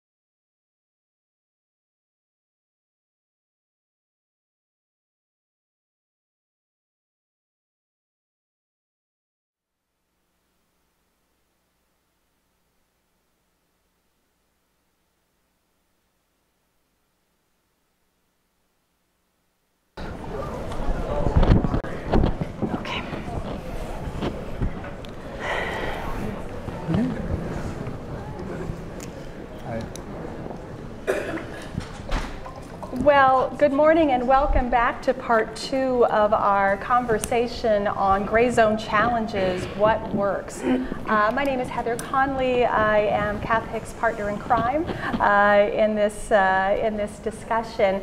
Um, and I am absolutely delighted that we truly have a transatlantic panel to talk about those gray zone challenges. Of course, we can talk about them more widely, but because I direct our Europe program, I'm only interested in one thing, and I'm interested in how these gray zone tactics work in Europe, and particularly on the Russia challenge. Let me just briefly introduce our four brilliant panelists, and then I'm going to get out of their way and let them share some thoughts with you. We'll do some Q&A, and we'll welcome you into that conversation as well. So to my immediate left, let me uh, welcome uh, Mr. Michael Tatham, uh, Deputy Head of Mission at the British Embassy here in Washington, a position he assumed in January of this year. Prior to uh, coming to Washington, Michael has served as the Director for, Cent for Eastern Europe and Central Asia in the uh, Foreign and Commonwealth Office. He has been a political, the political coordinator at the British Mission at the United Nations. He has been British ambassador to Bosnia, head of the Western Balkans Group, and uh, deputy chief of mission uh, at the British Embassy in Prague. So uh, he's seasoned in both Western Balkans, Central Europe, and we're hoping that he will share some of his insights on the British government response and reaction to the Skripal poisoning.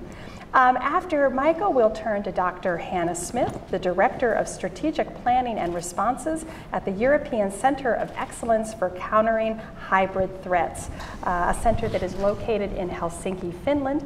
Prior to this position, Dr. Smith has worked at the University of Helsinki in a variety of, of key research positions looking at Russia uh, uh, and specializing certainly in uh, Eurasia international organizations. And we're delighted that Dr. Smith can be with us.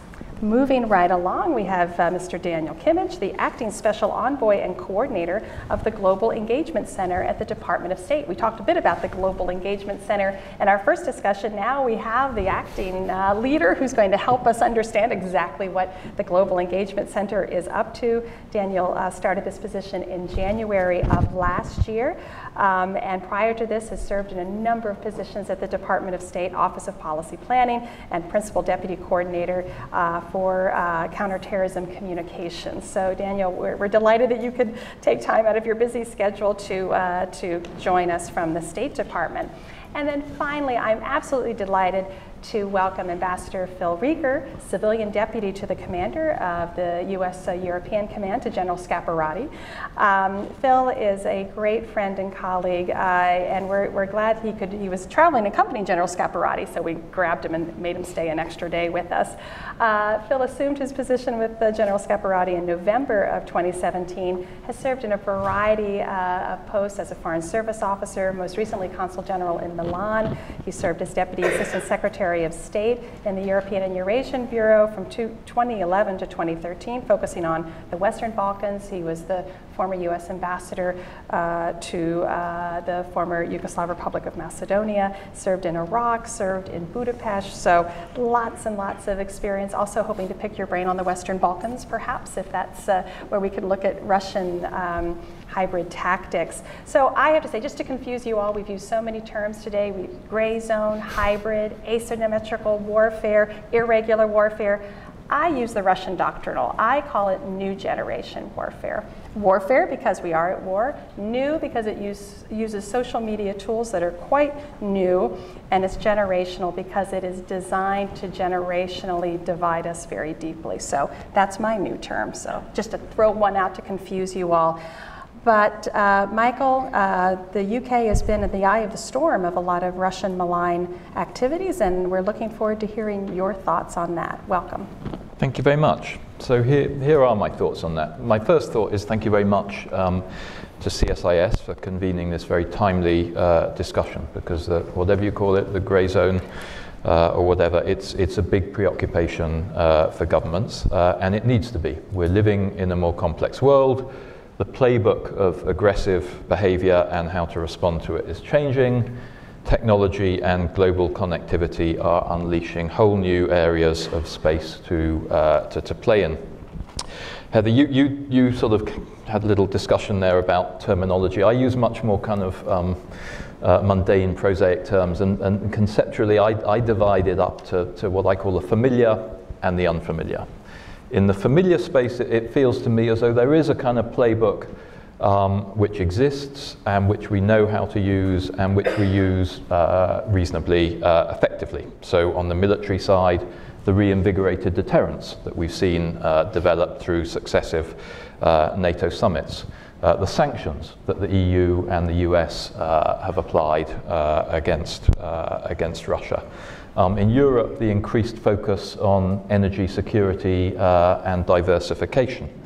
Um, the way in which we have uh, developed programs of support um, to those countries who are uh, particularly exposed to, uh, to, to, Russian uh, aggressive behavior uh, and destabilization. That, I think, is, is what I mentally categorize as, as the familiar, um, where the playbook exists, and I think there's a, a, sort of respectable story to tell in terms of what has been uh, done. The unfamiliar is exactly what you were describing the asymmetric, the, the hybrid, the cyber, uh, and so on. Um, and what should we be doing about that? Um, I offer these thoughts with a degree of uh, humility because I think we don't yet know uh, all the answers. These are new challenges, um, and in some way, in some instances, we are finding our way uh, in terms of how, how to deal with them. But let me offer these thoughts. I think the first point, it's a very obvious point, uh, but it's about awareness. Um, it's about awareness of the risks um, and ending a kind of mindset of, of, either denial or complacency. In the three years that I spent as uh, in, in, in London as director for Eastern Europe and Central Asia, it felt to me as though in, in a lot of European countries, in, in the dialogue I had with them, you could sort of sense a journey, uh, and which started from the kind of yes, yes, this is all going on, but look, we're we're free societies, we have freedom of speech, freedom of media. Uh, those principles are strong enough uh, just to kind of uh, dispel uh, uh, any any any challenges or any menace uh, that we might face. I think now there is a much greater awareness of the vulnerabilities um, within our systems, an awareness that has, has uh, we've, we've gotten to through painful uh, experience uh, in many cases.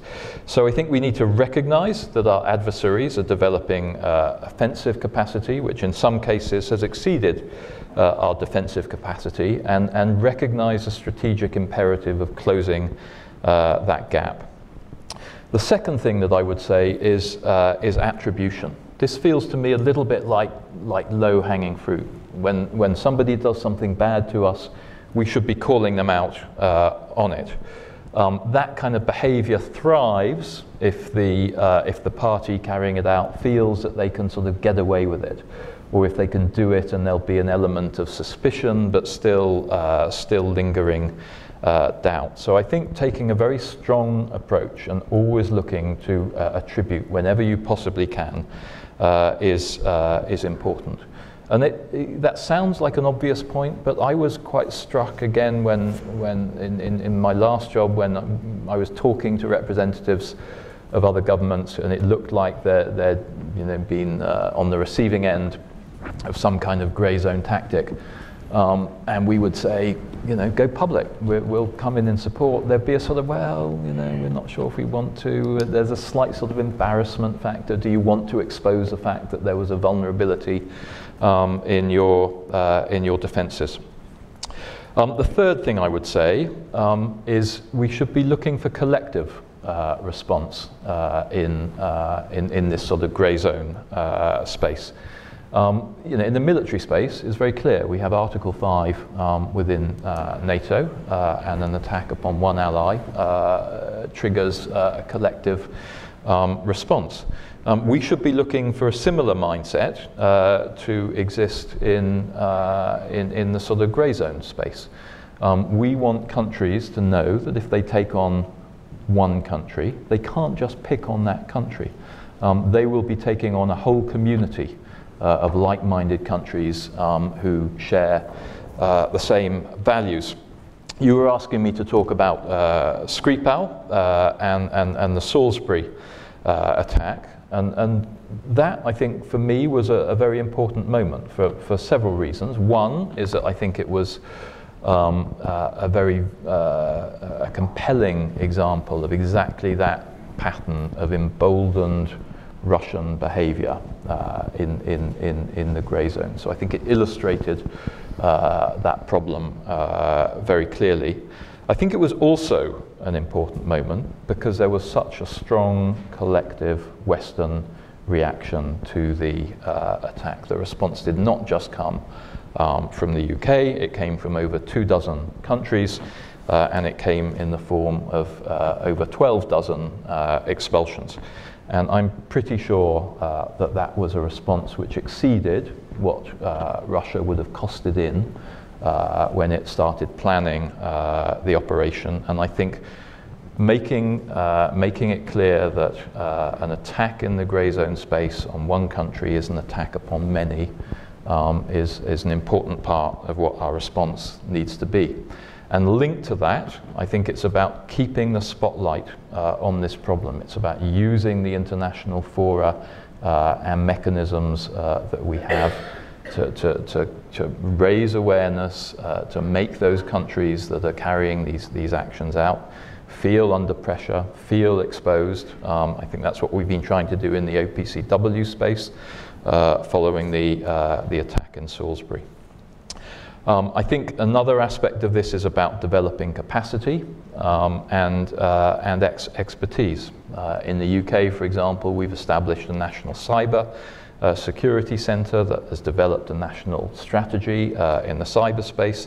I think it's excellent that, that you know that the centre like the one that Hanna is representing uh, exists to kind of develop and share uh, expertise in this in this area. Um, I think countering is important. I think this is particularly important in the uh, information, uh, disinformation space, developing the capacity um, so that we can quickly uh, rebut um, and uh, nail uh, egregious examples of, uh, of, of, of, disinformation or lies that are being disseminated finding intelligent programs um, through which we can support independent and objective media, particularly in the Russian language space, where at the minute uh, either the Russian state or Russian state controlled bodies uh, have a near monopoly of, uh, of Russian language uh, media uh, outlets. Um, and the final thing I would say, because I'm conscious I've kind of come up against my, my, my, time limit, is, is joined upness. Um, the countries that are operating aggressively in the grey zone space um, tend to be countries uh, that are very centralized, where all the levers converge um, in, uh, in one point. Um, the Western community, the EU, NATO, the multilateral organizations are, are, are dispersed. Um, but we need to make our, uh, our decision making uh, as joined up uh, as possible we need organizations like the EU and NATO uh, to be working together. Cyber has a military and a civilian uh, dimension. Uh, EU sanctions against Russia and reinvigorated deterrence through NATO are policies from different organizations, but they need to be seen uh, within the same strategic framework, and there obviously needs to be uh, a degree of, of, of, dialogue and coordination uh, between those, those organizations. Um, I will stop there. Great, Michael. Thank you so much. Hanna, please. Thank you very much. Um, good morning for everybody, and thank you very much for CSIS and the Finnish uh, Foreign Ministry um, for organizing this uh, and inviting us to participate. Um, the European Center of Excellence for Countering Hybrid Threats has set, been set up last year. It was an EU initiative, which was quite quickly in uh, 2016 endorsed by NATO. But we are not a NATO uh, organization, we are not an EU organization. We are for our uh, member states, but also for the EU and NATO uh, to use in their advantage. At the moment, we are 15 countries. Uh, United States is uh, one of, of the members, supports the center very well. EUCOM, uh, in fact, has been a, a, great support and sending a, a secondment um, very shortly. Uh, I believe also summer. Uh, this summer, yes. Um, and UK um, sometimes um, has been felt that it's, um, it's been one of the leading members in the way that the support from UK has been so strong. So we are very uh, thankful for those. One of the reasons why the center was put in Helsinki uh, specifically is, of course, uh, Finnish experience relating to Russia, long-term one. Um, it was mentioned in the previous panel, uh, the Estonian experience, but um, the Finn in me, um, I am fully Finnish, um, has to be saying that actually the Estonians adopted the Finnish model in 1990s. So that whole uh, issue is coming from Finland, and Finland had that already in 1960s. The whole government, whole of society, a comprehensive security model, bringing different actors inside of the state together uh, to build uh, specifically resilience. And, and, and, of course, this experience is one of the factors uh, behind uh, the center. Also, um, it's good to remember that Sweden and Norway, for example, has had also a quite strong historical experience, something that they call total defense, uh, Cold War time, but it has similar ideas in the way that how to bring society uh, and, and, state kind of closer to each other, and also uh, the military. The civil military, of course, cooperation uh, is the thing that was a little bit perhaps uh, could be argued forgotten when Cold War was over, and that is a clear cut that we need to uh, be able to bring that back. In Europe, uh, Russia, of course, uh, figures quite strongly when we're talking about hostile influencing, um, but also in many other ways. What we do in our center is not only looking at Russia, but also a much wider picture to try to give the tools to our member states um, as well as to EU and NATO to counter, in fact, uh, all kind of security threats relating to hybrid threats, gray zone, uh, new generation, whatever you want to call that phenomenon. So the interesting thing relating to the future aspect or current moment and what is uh, to come quite quickly is the fact that we are in a space between something old and something new. We know quite well the old, but we don't quite know what exactly the new uh, is.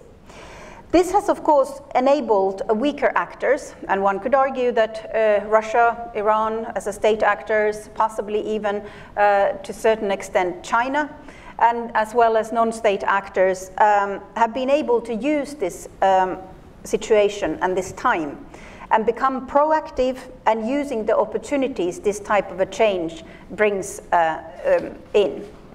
And I would like to highlight the six points that uh, the Hybrid CoE has actually identified which are crucial relating to uh, one we're thinking about how um, the future is shaped and what type of uh, uh, capabilities and responses we would need to think about. One is the world order situation. Uh, first of all, that brings a competition over status and uh, resources it also enables the fact that we start actually to negotiate about reality. What exactly is the world about today? And that, of course, puts the stronger actor, and in this case, the democratic states, on defense. It is also very difficult in this kind of situation, the democratic states, to identify the enemy. And of course, if you do not have a clear-cut enemy, it is difficult to think about the responses. Then the technological revolution, which was mentioned, has given very many new capabilities of influencing. It has also changed fundamentally several other um, um, kind of spaces. One of them is the media landscape. So it's not only kind of the fake news, but actually the whole kind of media space, the way how news are delivered, how they are produced, how they are introduced in the way that uh, you might have in a Twitter a news which is one sentence. And you need to know the context, uh, the, the reasons, the analysis out of that one sentence. This is rather challenging. And of course, that leaves a lot of space then for interpretation, perceptions, etc., to take a hold of. Then we have the network-based action. In the 1990s, uh, globalization, of course, was seen as one of those uh, positive aspects that brings all the conflicts to the end. Today, we see that in fact there is a dark side of globalization. And this uh, globalization with its networks actually amplifies any hostile influence. So therefore also a weaker actor becomes stronger. Then we have, uh, in the fifth point, the generational change. We have now, uh, in the Western countries, a lot of youth that does not remember uh, the Cold War, has not a personal experience relating to that necessarily at all. This applies, in fact, also to other countries, not only to the Western countries. This creates, of course, a fully different type uh, of a situation when you argue about the leadership or trust to the institutions or trying to argue that, you know, this was a challenge before, we need to do like uh, before. And finally, uh, the sixth point is the changing character of war. Uh, today, of course, in the wars, there should not be anyone be killed not a soldier or a civilian for that matter. Even sometimes questionable, can you destroy facilities? This changes, of course, the war um, fully. And it was an interesting question uh, in the first panel relating to the information warfare, political warfare. This describes to us also the situation. War is not how it used to be, and yet there is a feeling that there is a war. This, of course, is a big, big challenge to think about also the responses. And finally, I want to finish with the saying that I think um, what we have lost in the Western countries is the belief to ourselves and to the strength for democracy. In fact, when we've been looking at it also in our center, uh, a lot of these uh, situations in different democratic countries, uh, and then the hostile influence.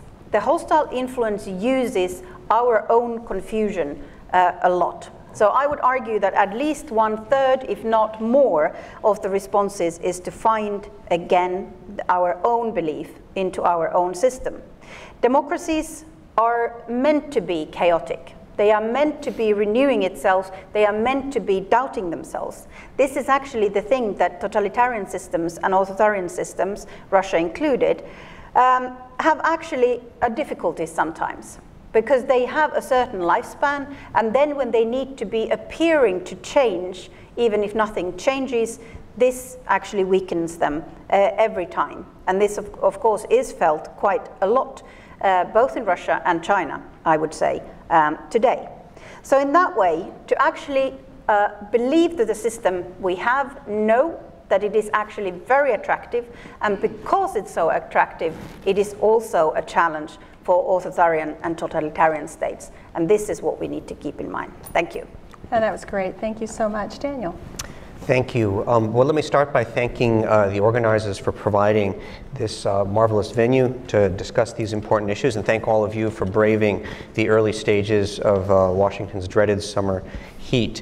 Um, let me start with the most uh, general framing, and then I'll uh, uh, get a bit more specific and end with a few remarks on the uh, role of the Global Engagement Center. Um, I'd like to start by highlighting three global trends that I think are converging to really create a uh, almost what you could call a golden age or a new golden age for political warfare. These are all very familiar trends. They've been covered extensively. But I think that the way that they interact has had a, a, a, very unique and powerful effect. So the first is obviously a fundamental change in the technology for delivering and, and sharing uh, information. This is the communications technology that we all use. It's everything from computers to mobile phones to uh, the software and to the platforms of social media. But this technology has had a massive global effect. The second trend I would highlight is a return to a, a what was uh, uh, thought in the 1990s to be a bygone era of ideological competition. There is no longer much consensus uh, on the ideas that we saw in the 1990s that the world is moving inexorably toward a technocratic liberal free market democratic uh, utopia. There is considerable competition from the far end of the spectrum with uh, jihadist ideologies to resurgent uh, authoritarianism. So ideological competition is uh, back. And then lastly, geopolitical competition is back. This is no longer the bipolar era of the Cold War. It's no longer an era of any single country having uh, hegemony. It is a world of geopolitical competition we saw this reflected most recently in our own um, uh, national security uh, strategy, which talks about uh, a competitive environment. But I would say that taken together, this new era of technology, renewed ideological competition, and geopolitical competition has really laid the groundwork for a golden age of what we're discussing here, which is uh, political warfare or, or, or, gray zone. Let me just uh, cite three examples of this. We've seen Al Qaeda and ISIS, which are very you know, uh, extreme marginal players on the ideological spectrum leverage communication technologies to make themselves almost a central part of the global discussion of ideas, which is a, a shocking achievement. Thankfully, their, their, their territorial gains have been uh, largely rolled back, but we're still dealing with the after effects of how effectively they were able to leverage technology to gain a platform for these very ma- uh, marginal and extreme ideas. Um, second, the example of Crimea, which has already come up today, is, I think, an excellent example of all of these things coming together. The uh, range of techniques that were employed, both on the information spectrum to the military spectrum, um, and including on the ideological spectrum, that came together in Crimea was really, I think, a galvanizing moment for many of us, that it, it really drove home how powerful a tool this can be. And then lastly, I would say that both the internal politics of authoritarian states, everything from the uh, social index that we see emerging in China, to some of the debates we're having on the uses of commercial technologies and social media platforms in our own uh, country and throughout uh, the industrialized world, these are new paradigms and they're uh, quite uh, difficult to engage with. So th- these are examples of this, but I think that this is uh, uh in some ways a golden age for exploiting technology, information, and communications to change behaviors and to, to engage in uh, political warfare, but we also see it in the uh, commercial sphere and in the pol- politics of democracy. So it is, uh, I, I, think, a, a, a fundamentally new uh, phenomenon, although, of course, has uh, historical precedence. So let me shift a little bit to the response, and then I'll close with a few remarks on the Global Engagement Center. So I think that the response, and I think this is not as uh, satisfying as some would like to hear, but the response is going to have to be long term. Uh, to cite a historical precedent, I would remind everyone that it really took decades for the West, for the United States, to mount a response to the Cold War, to the, to the challenge of communism across all spectrums. Uh, like that, struggle, I think this will also involve the creation of new institutions. I think we are just at the beginning of this. I'll cite the Global Engagement Center actually as an example of a uh, new institution, a small one but a new one. But I think that there are going to have to be uh, a considerable number of uh, new institutions created, and that a key role in all of this is going to play uh, uh research to understand how all of this is working. I think uh, one of my uh, uh, fellow panelists talked about having some humility in that we do not fully understand how all of these things come together. One of the most interesting phenomena right now in the advertising world is that it's very hard to figure out what works and what doesn't in the political world, what works and what doesn't in the hybrid warfare political warfare world. Uh, there are new groups coming out like the Oxford Internet Institute, which is small but doing highly relevant research. I think that we're going to have to evolve some new academic disciplines that combine a deep understanding of modern communications technologies with an equally deep understanding of language and culture, because all of these things are refracted through language and culture and play out very, very differently in Finland or the United States or any other country, and we really have to look at it in that specific um, uh, context. The eventual solution, I think, is going to involve many, many elements from changes in policy. Uh, a, a, panelist in the previous panel talked about norms, which I think will play a role. There will be technical solutions, there will be legal solutions. It will not be any one thing. It is going to be a, a, a combination of things. So let me close with a few words on the uh, Global Engagement Center. As I said, the Global Engagement Center is an example of a new institution. It was created by Congress um, uh, through the National Defense Authorization Act of 2017. This being a Washington crowd, I'll say it was Section 1287, if anyone wants to look it up. Um, that's where it gets its mandate, which is to lead, synchronize, and coordinate the US government effort to counter propaganda and disinformation. So it has a very broad and sweeping um, uh, mandate. It is still in the very early days.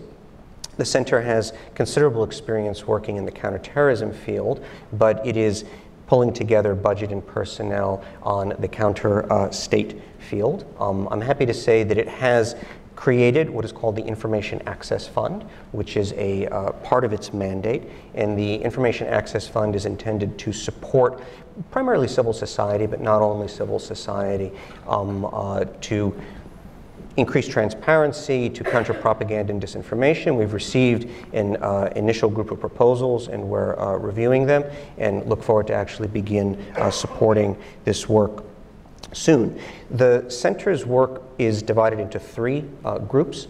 Part of it is analytic, Part of it is simply to identify what the vulnerable audiences are, what the um, uh, uh, parameters of the problem are, to really try to understand, and particularly from a US perspective, what is most damaging uh, to our national interests. Secondly, as I said in connection with the Information Access Fund, it is to support partners, civil society, um, uh, allied governments.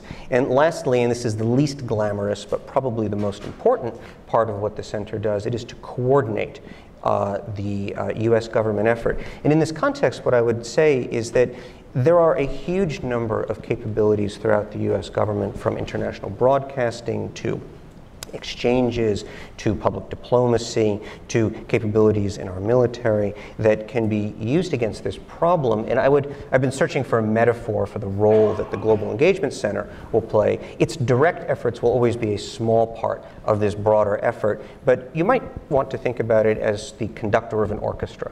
The orchestra obviously plays the music. The music itself is really written in the form of national strategies, it's written in the form of policy, some of which comes from the National Security Council, some of it which comes from departments and agencies. But the role of a, a coordinating uh, body like the Global Engagement Center is to conduct that effort and to make sure it is synchronized and harmonized and having the greatest possible effect together. So I'll leave you with that uh, image and I'll be ready to answer questions after. Daniel, as you were saying that, the image I had was uh, the conductor in Fantasia, I have to right. say. Uh, hard to bring all if of the, those if there's a little bit If there's together. a little bit of magic in it, it's also good. we need the magic hat. Thank, Thank you, you Phil, please.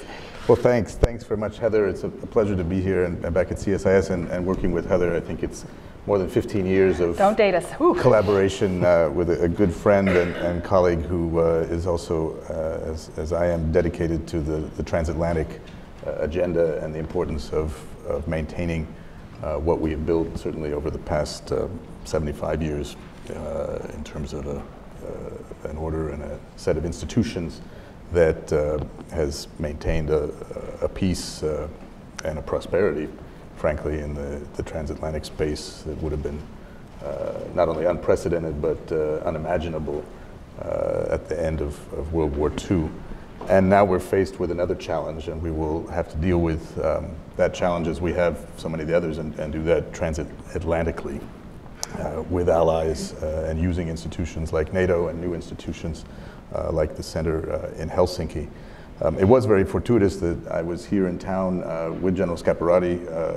I am his deputy in his European command hat. Of course, he has another hat as the Supreme Allied Commander uh, at NATO, and in both hats, he is very much focused on, on this subject. And in fact, we were here in, in uh, Washington uh, for a number of reasons, but the first meeting we had was one Daniel was also at that was focused on this very subject. And there is a lot of uh, whole of government uh, looking at this, uh, but certainly EUCOM and the commander himself are, are very focused on this.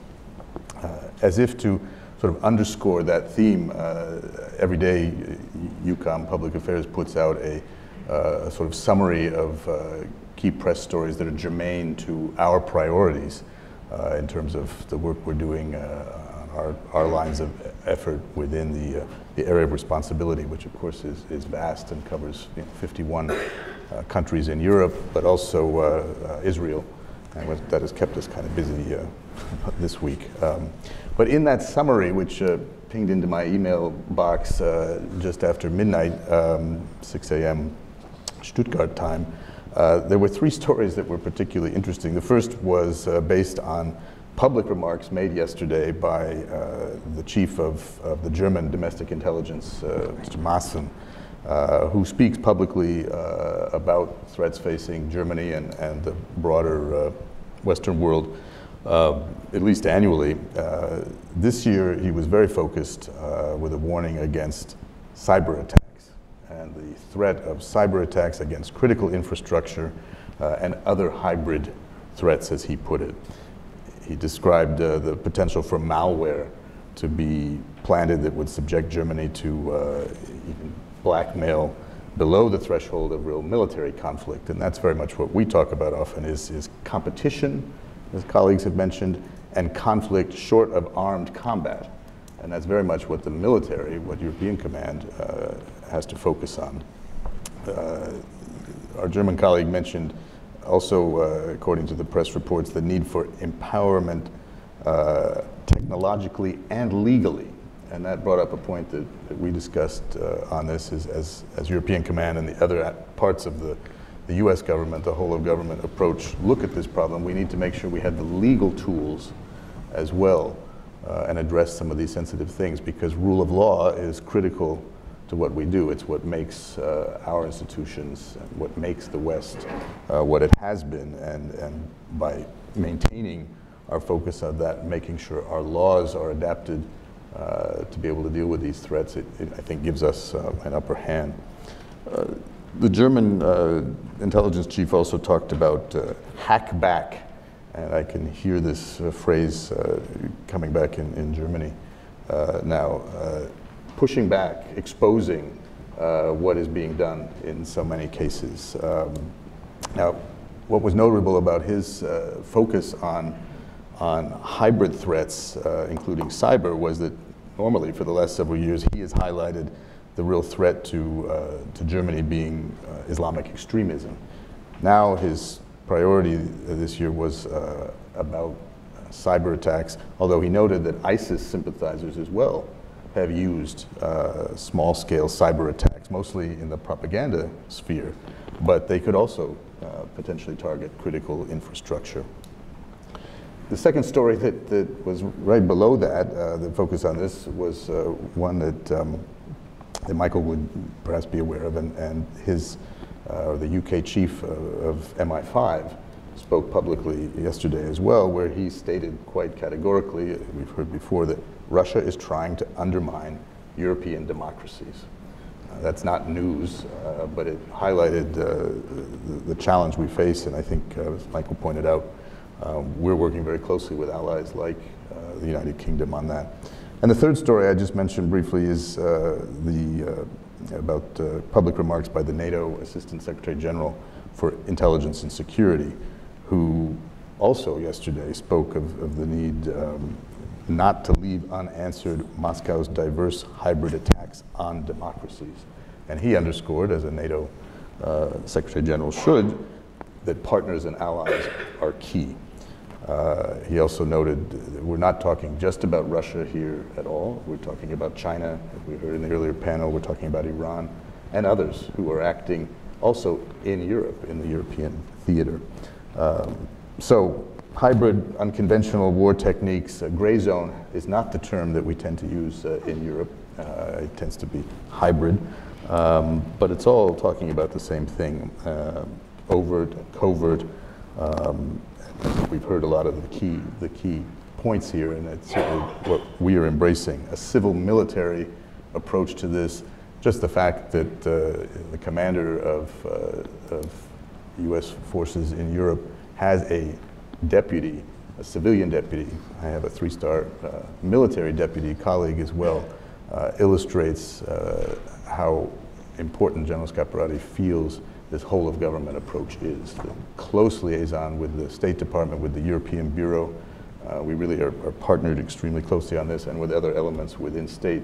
But across the board, we have a, a directorate at EUCOM, which is interagency, uh, includes everything from justice to treasury to USAID. And all of these tools are going to be uh, useful. All of the things they bring to the table are, are important. Um, and we have made it uh, in line with the national security strategy, the national military strategy, and of course the, uh, national defense strategy. Each of these uh, important documents um, prioritizes this, and, and, we're applying that uh, very much.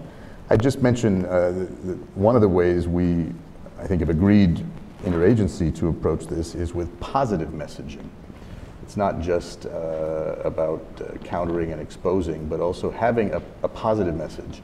And I think that was something we knew through USIA and, and uh, others through the Cold War was very important, not to counter negative messages with, with negatives, to counter it with truth, but to have a positive message. And uh, included in some of the talks last week were also the Broadcasting Board of Governors, which I mm. think has an opportunity to restart some of the programs that were pushed aside uh, when we decided those things weren't as important as we realized uh, that is, is important to um, you know, pursue true information, uh, tell the, the American and the Western story, uh, programs for media literacy, strategic outreach, uh, and diplomatic engagement. I think I, I sense across the State Department, even in the last few weeks, a, a renewed sense of the importance of engaging, showing up, uh, being a, a, part of this, because we do have challenges uh,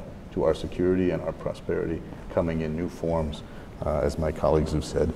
Uh, and certainly, European Command, which has transformed itself literally in the last year or so from a command that supported the alliance, enabled global operations, um, was one of more defense cooperation, into uh, being once again a war-fighting command. Not that we want to fight wars in the traditional sense, but the fact that we need to be prepared uh, to, to do so, to, uh, to defend our interests, our allies, um, but also to deal with uh, these hybrid uh, aspects of what many are calling a war that is going on today. So I'll leave it there and we can talk more questions. Thank you so much for great interventions. I, I just have a couple questions I'd love to tease out uh, for our panelists we circled around it in the first panel, and I'm going to come back. I, I think we are fundamentally not organized to address this challenge set hybrid. After 9 11, we fundamentally reorganized ourselves. Uh, creating the Director of National Intelligence, creating uh, the Counterterrorism Center, fusion centers. We, we took it upon ourselves and we had a 9 11 commission, a con congressionally mandated to fix what's broken we have not bring, brought any sense of urgency to this. As much as I respect the Global Engagement Center and what it's trying to do, it is moving too slowly. There's no urgency. And so I just, reflections from the panel, just we can work our way down. And Daniel, it's, it's a pass. You don't have to say anything. I, I, appreciate you've got talking points and you're doing a great job. Um, but Michael, after, after what we've seen and the other sort of little point I want to make for you, I'm wondering if we are seeing an increase in tactics by Russia, particularly because in 2006, after Litvinenko, there was not this full-bodied expulsion. There was not this dramatic impact. More killings later, now we have a big impact. Are we not, we're being probed, we're not responding. So Russia goes, oh, okay, we can keep probing and seeing, and then we get a very big response to that. So how is the UK organizing itself to handle Russian malign influence? If there's any tips you can give the US government, that would be fantastic. And then do you sense that this uh, increase in activity and aggression, I would argue, was because there was perhaps not the robust response when this began happening in the UK over a decade ago? Uh, okay, thank you. Two interesting Sorry, questions. I, I, I Sorry wouldn't about that. presume to give advice to State Department, but oh, yes, um, you, you uh. I give you license to. Uh, on the first point, uh, I, I, I think I basically agree with what you say. That uh, it feels to me as though in lots of areas, Russia is testing uh, the West. It's testing to see what it can get away with. Um, and if it feels like it is getting away with it, then you'll probably see that sort of activity uh, recur um, or intensify.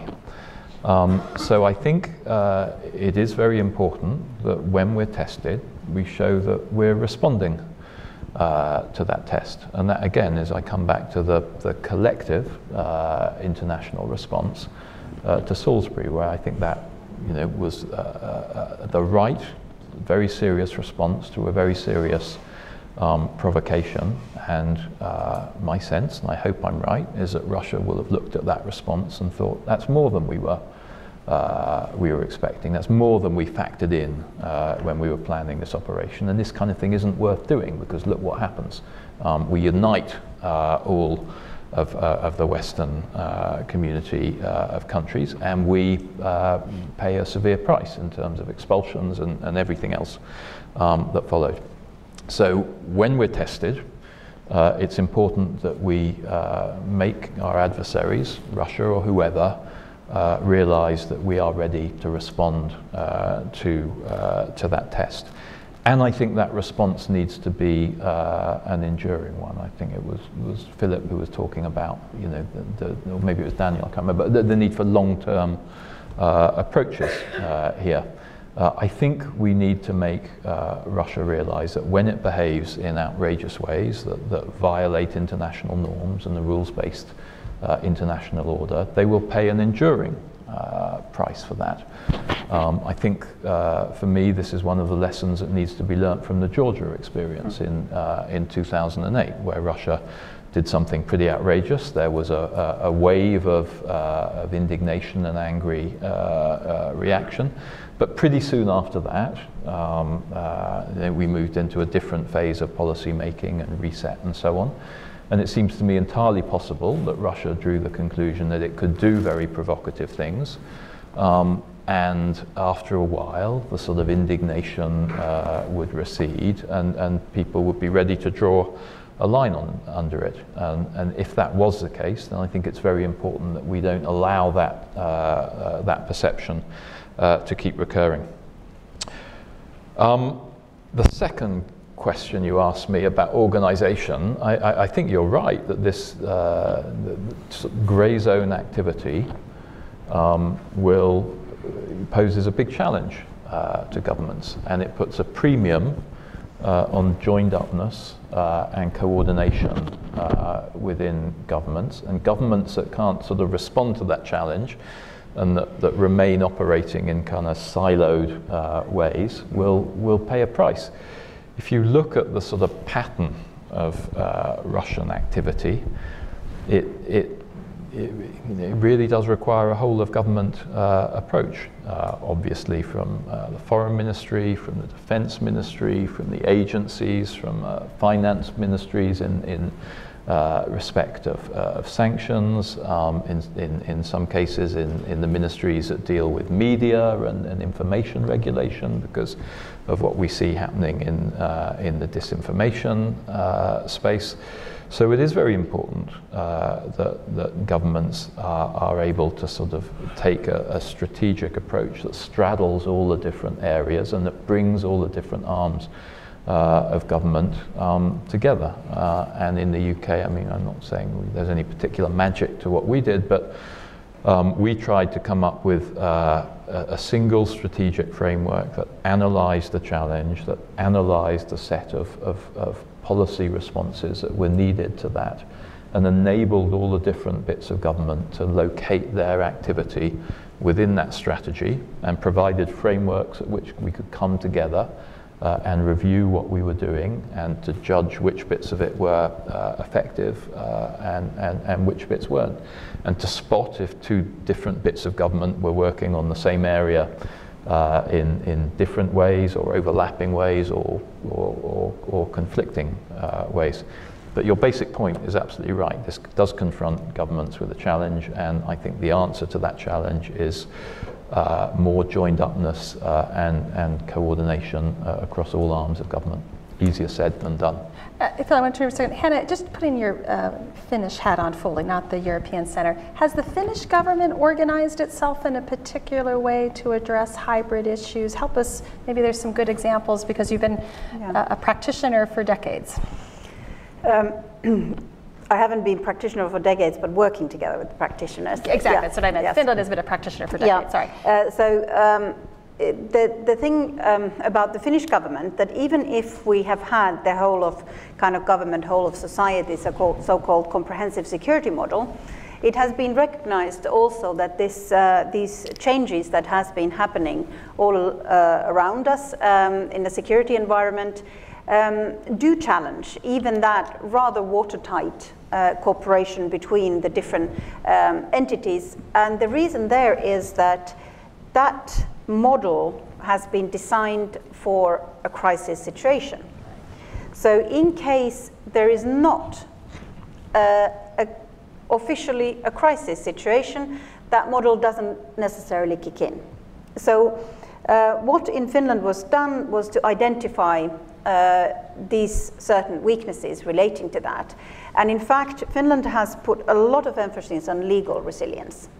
One of the reasons there has been, of course, this thing that since um, in today, today's uh, this phenomenon, what we're talking about, uh, hybrid threat, um, gray zone activity, etc., uh, attribution is for countries that has a normative framework, rule of law-based um, action, is very difficult. But in case you actually look at it in a legal way, um, it doesn't matter who's behind it. If it's illegal action, you can take then uh, measures to counter it because that can be stopped.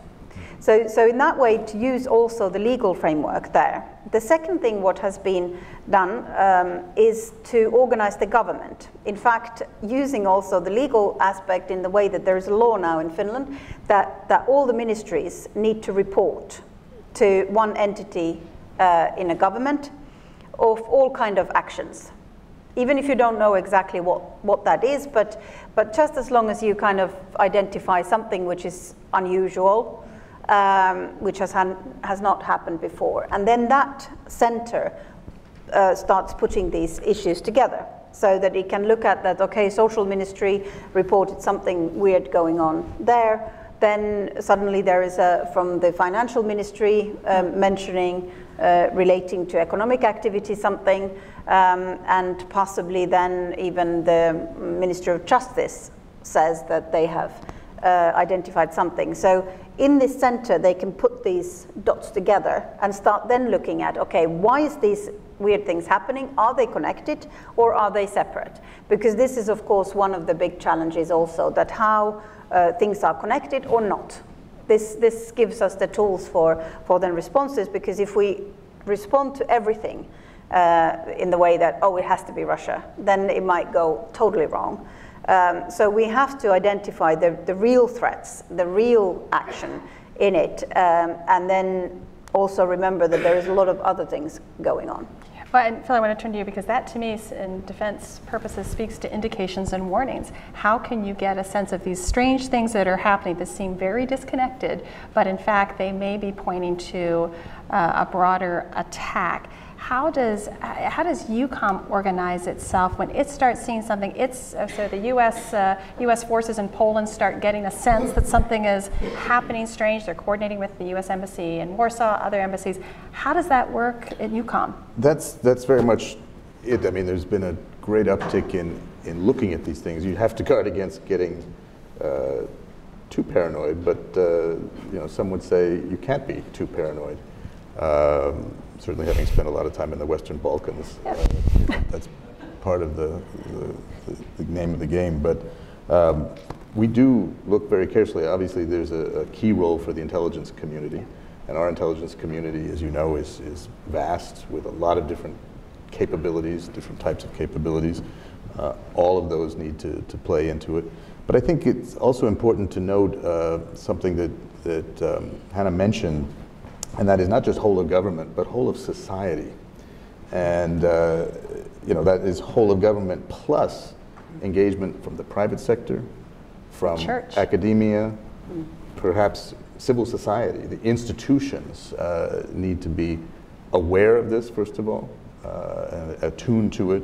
Um, and you know, you're seeing this with the, the look at the technology and social media sector, Facebook, uh, you know, up before Congress testifying, but discussions about how do we need to adapt laws to deal with this, but also how can we get these people to be players and look at a national interest um, and, and, an interest that, of course, is, is uh, international in the sense of international organizations, like-minded governments, uh, and, and we have NATO, we have partners, Finland and Sweden, two of the most active partners with NATO right now, and that includes in, in this area. So um, it's a, very much a comprehensive approach, but you have to look at everything. Uh, one that I don't think has been mentioned, one tool uh, that Russia employs is energy supply manipulation. Uh, that can be right. critical. Um, Rosatom is a political tool uh, as much as anything. Um, and we have to be keenly aware of that and make sure that others are aware of it too. So Daniel, maybe you can help us understand how the Global Engagement Center, when you're focusing perhaps on a specific Russia malign influence question, I know you do you know, mm-hmm. much more broadly sure. global counterterrorism. How does the mechanics of that work? The Global Engagement Center calls an interagency discussion. They're uh, just uh, lightly give sure. us the mechanics of how it actually works. Sure. So let me structure this around the three categories of activity, which are analytics, support, and coordination, and with the caveat that we are ramping up in some of the nation state areas. Um, uh, but the, the, the, it's sort of all of the above. So there are, of course, interagency meetings. You know, the, the everyday business of coordination really boils down to email and meetings. Um, uh, it's not glamorous, it's not exciting, and it's generally invisible. And the better it is done, the more invisible it is. So that's really knowing who all of the players are and knowing who they are across a very wide spectrum because, as my colleague said, some of these players are actually not in government. Some of the most powerful voices can come from civil society. There's an extremely important uh, role played by the tech sector, by some of the major platforms. There's an important role played by some of the smaller platforms, some of whom we might not talk to directly,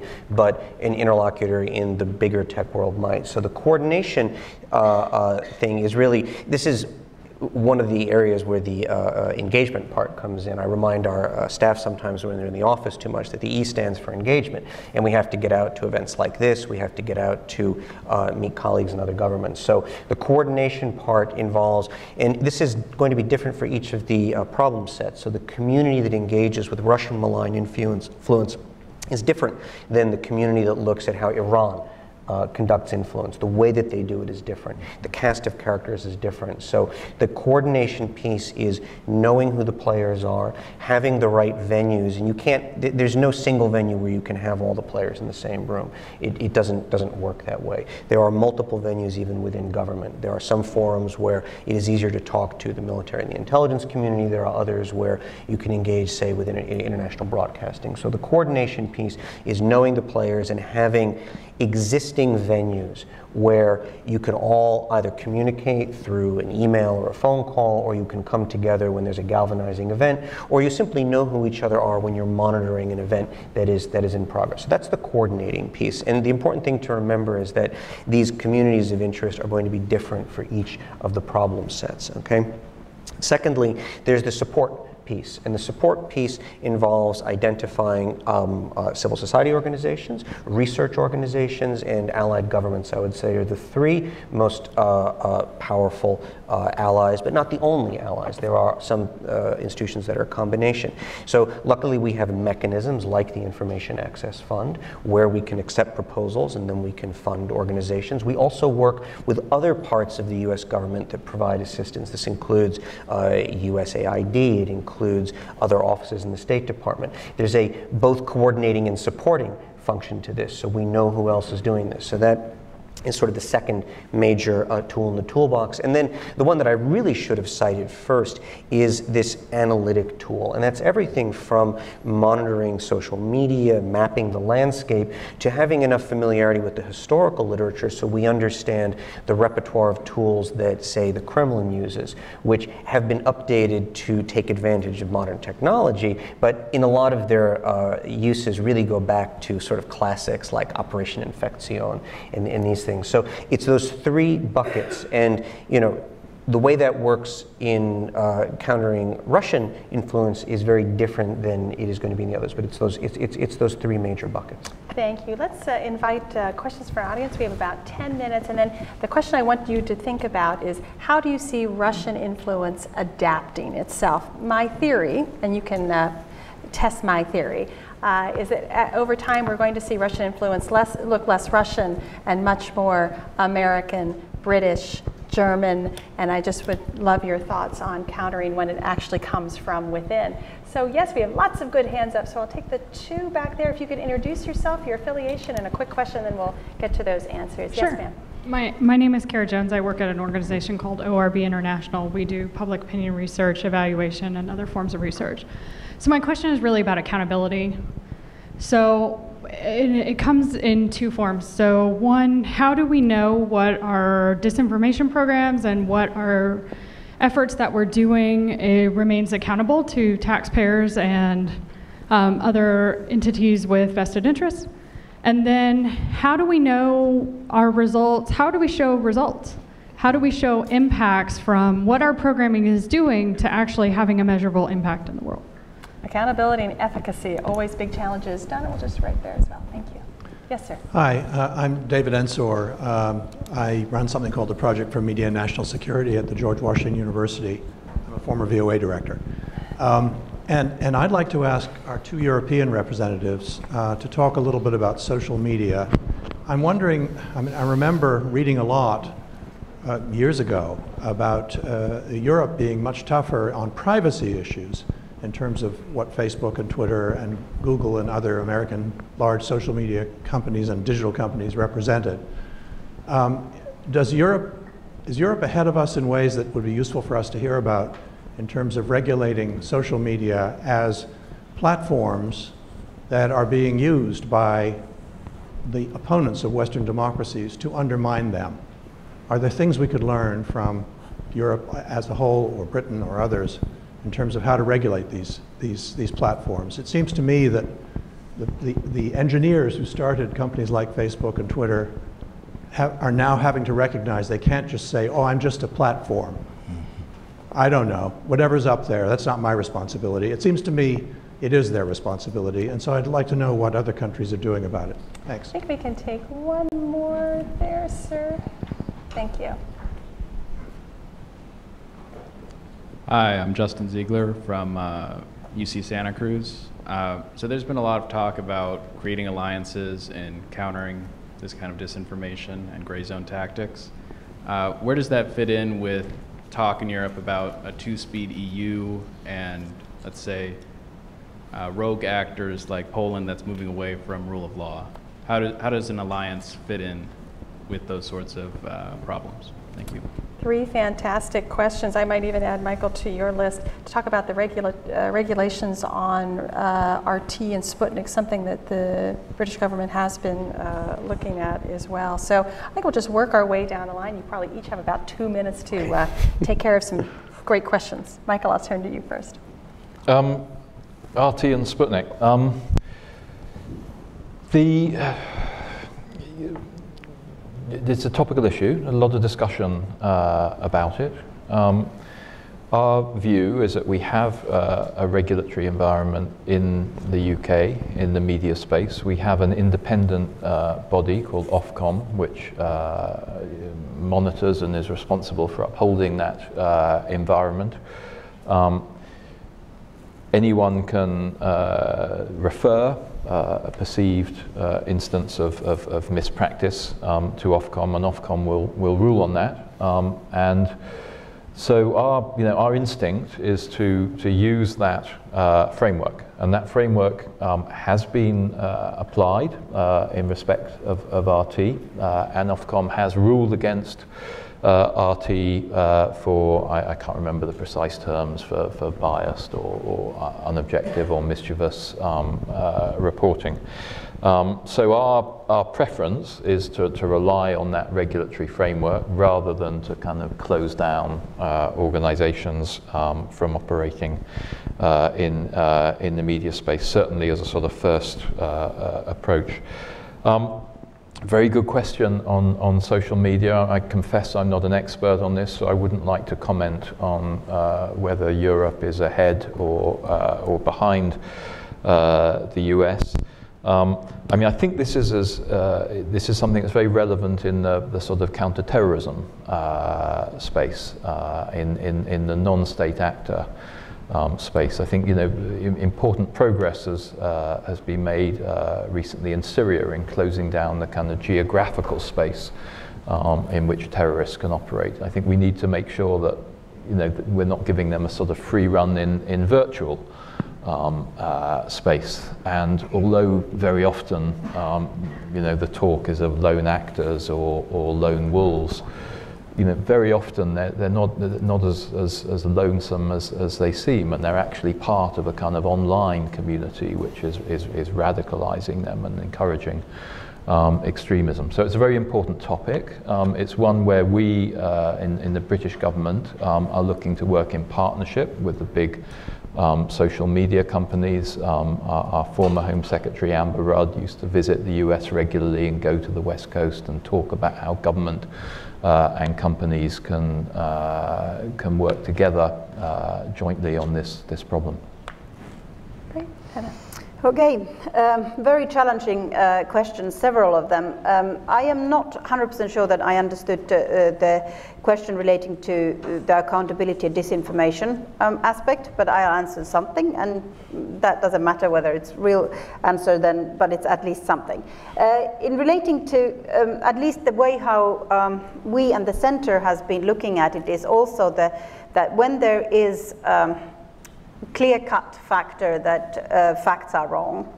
So is a debunking, for example, uh, the most effective way to try to show that this fact uh, is uh, not right uh, or not, uh, or, or, or, that um, it's been used wrongly? Um, the research relating to that is actually not conclusive.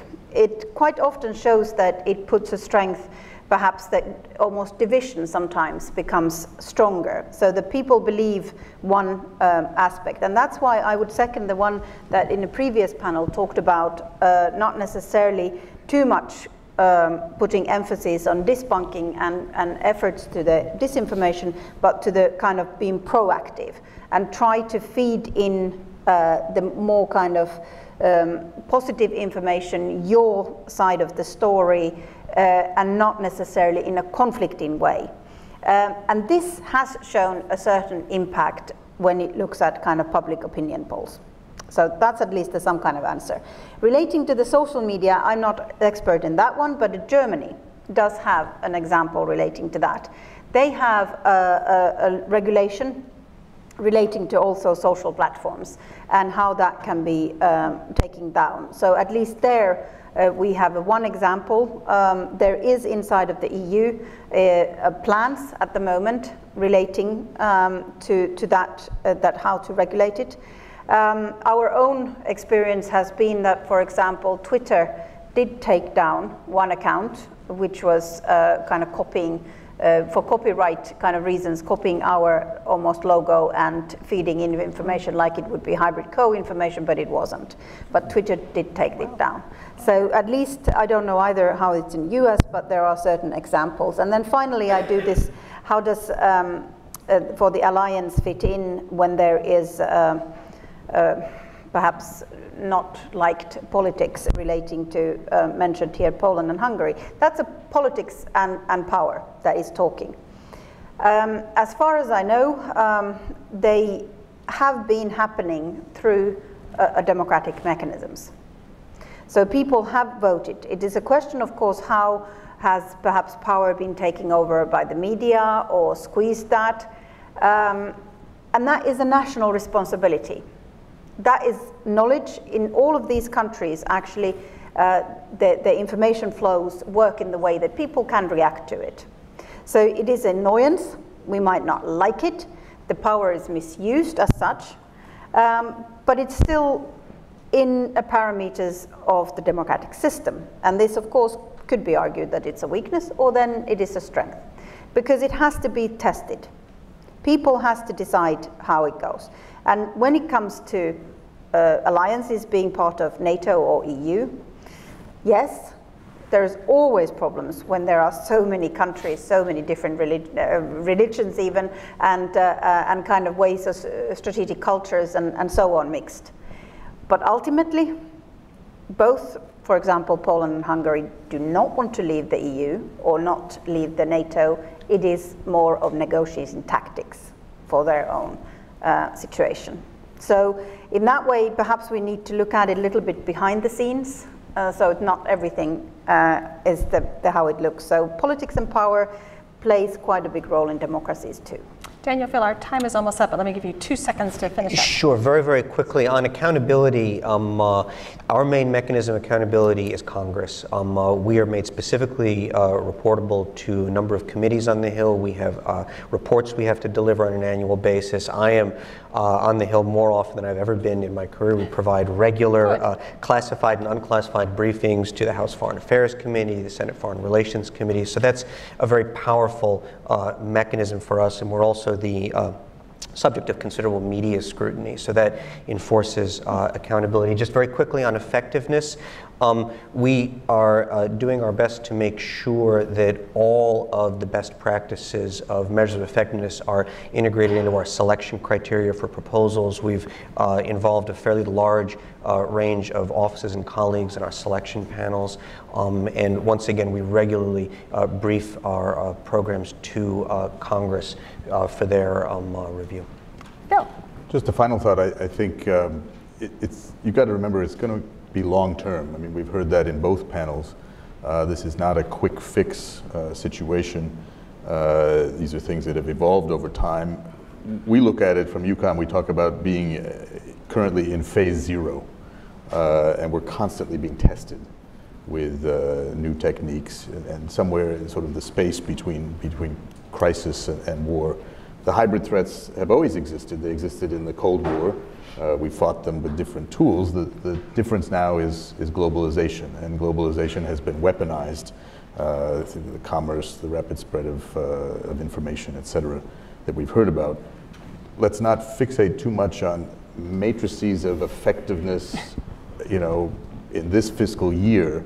Let's look at a big picture and what we're trying to accomplish with our alliances and, and keep in mind what it is that uh, is concerning about this. And it goes from the information sphere, the, the, the values, the ideas, the narrative, but it also, uh, in terms of hybrid, goes to uh, true uh, acts of war. If you can turn out someone's lights, uh, if you can disrupt an infrastructure or a logistics network, um, that can be perilous in much more traditional concepts of, of war and, uh, and threat.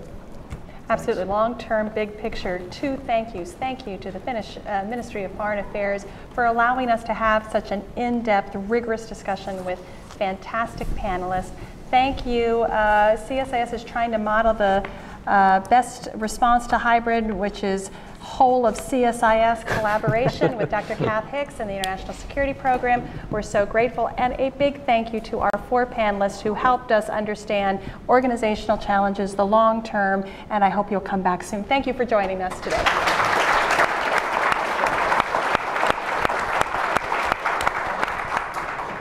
Fabulous.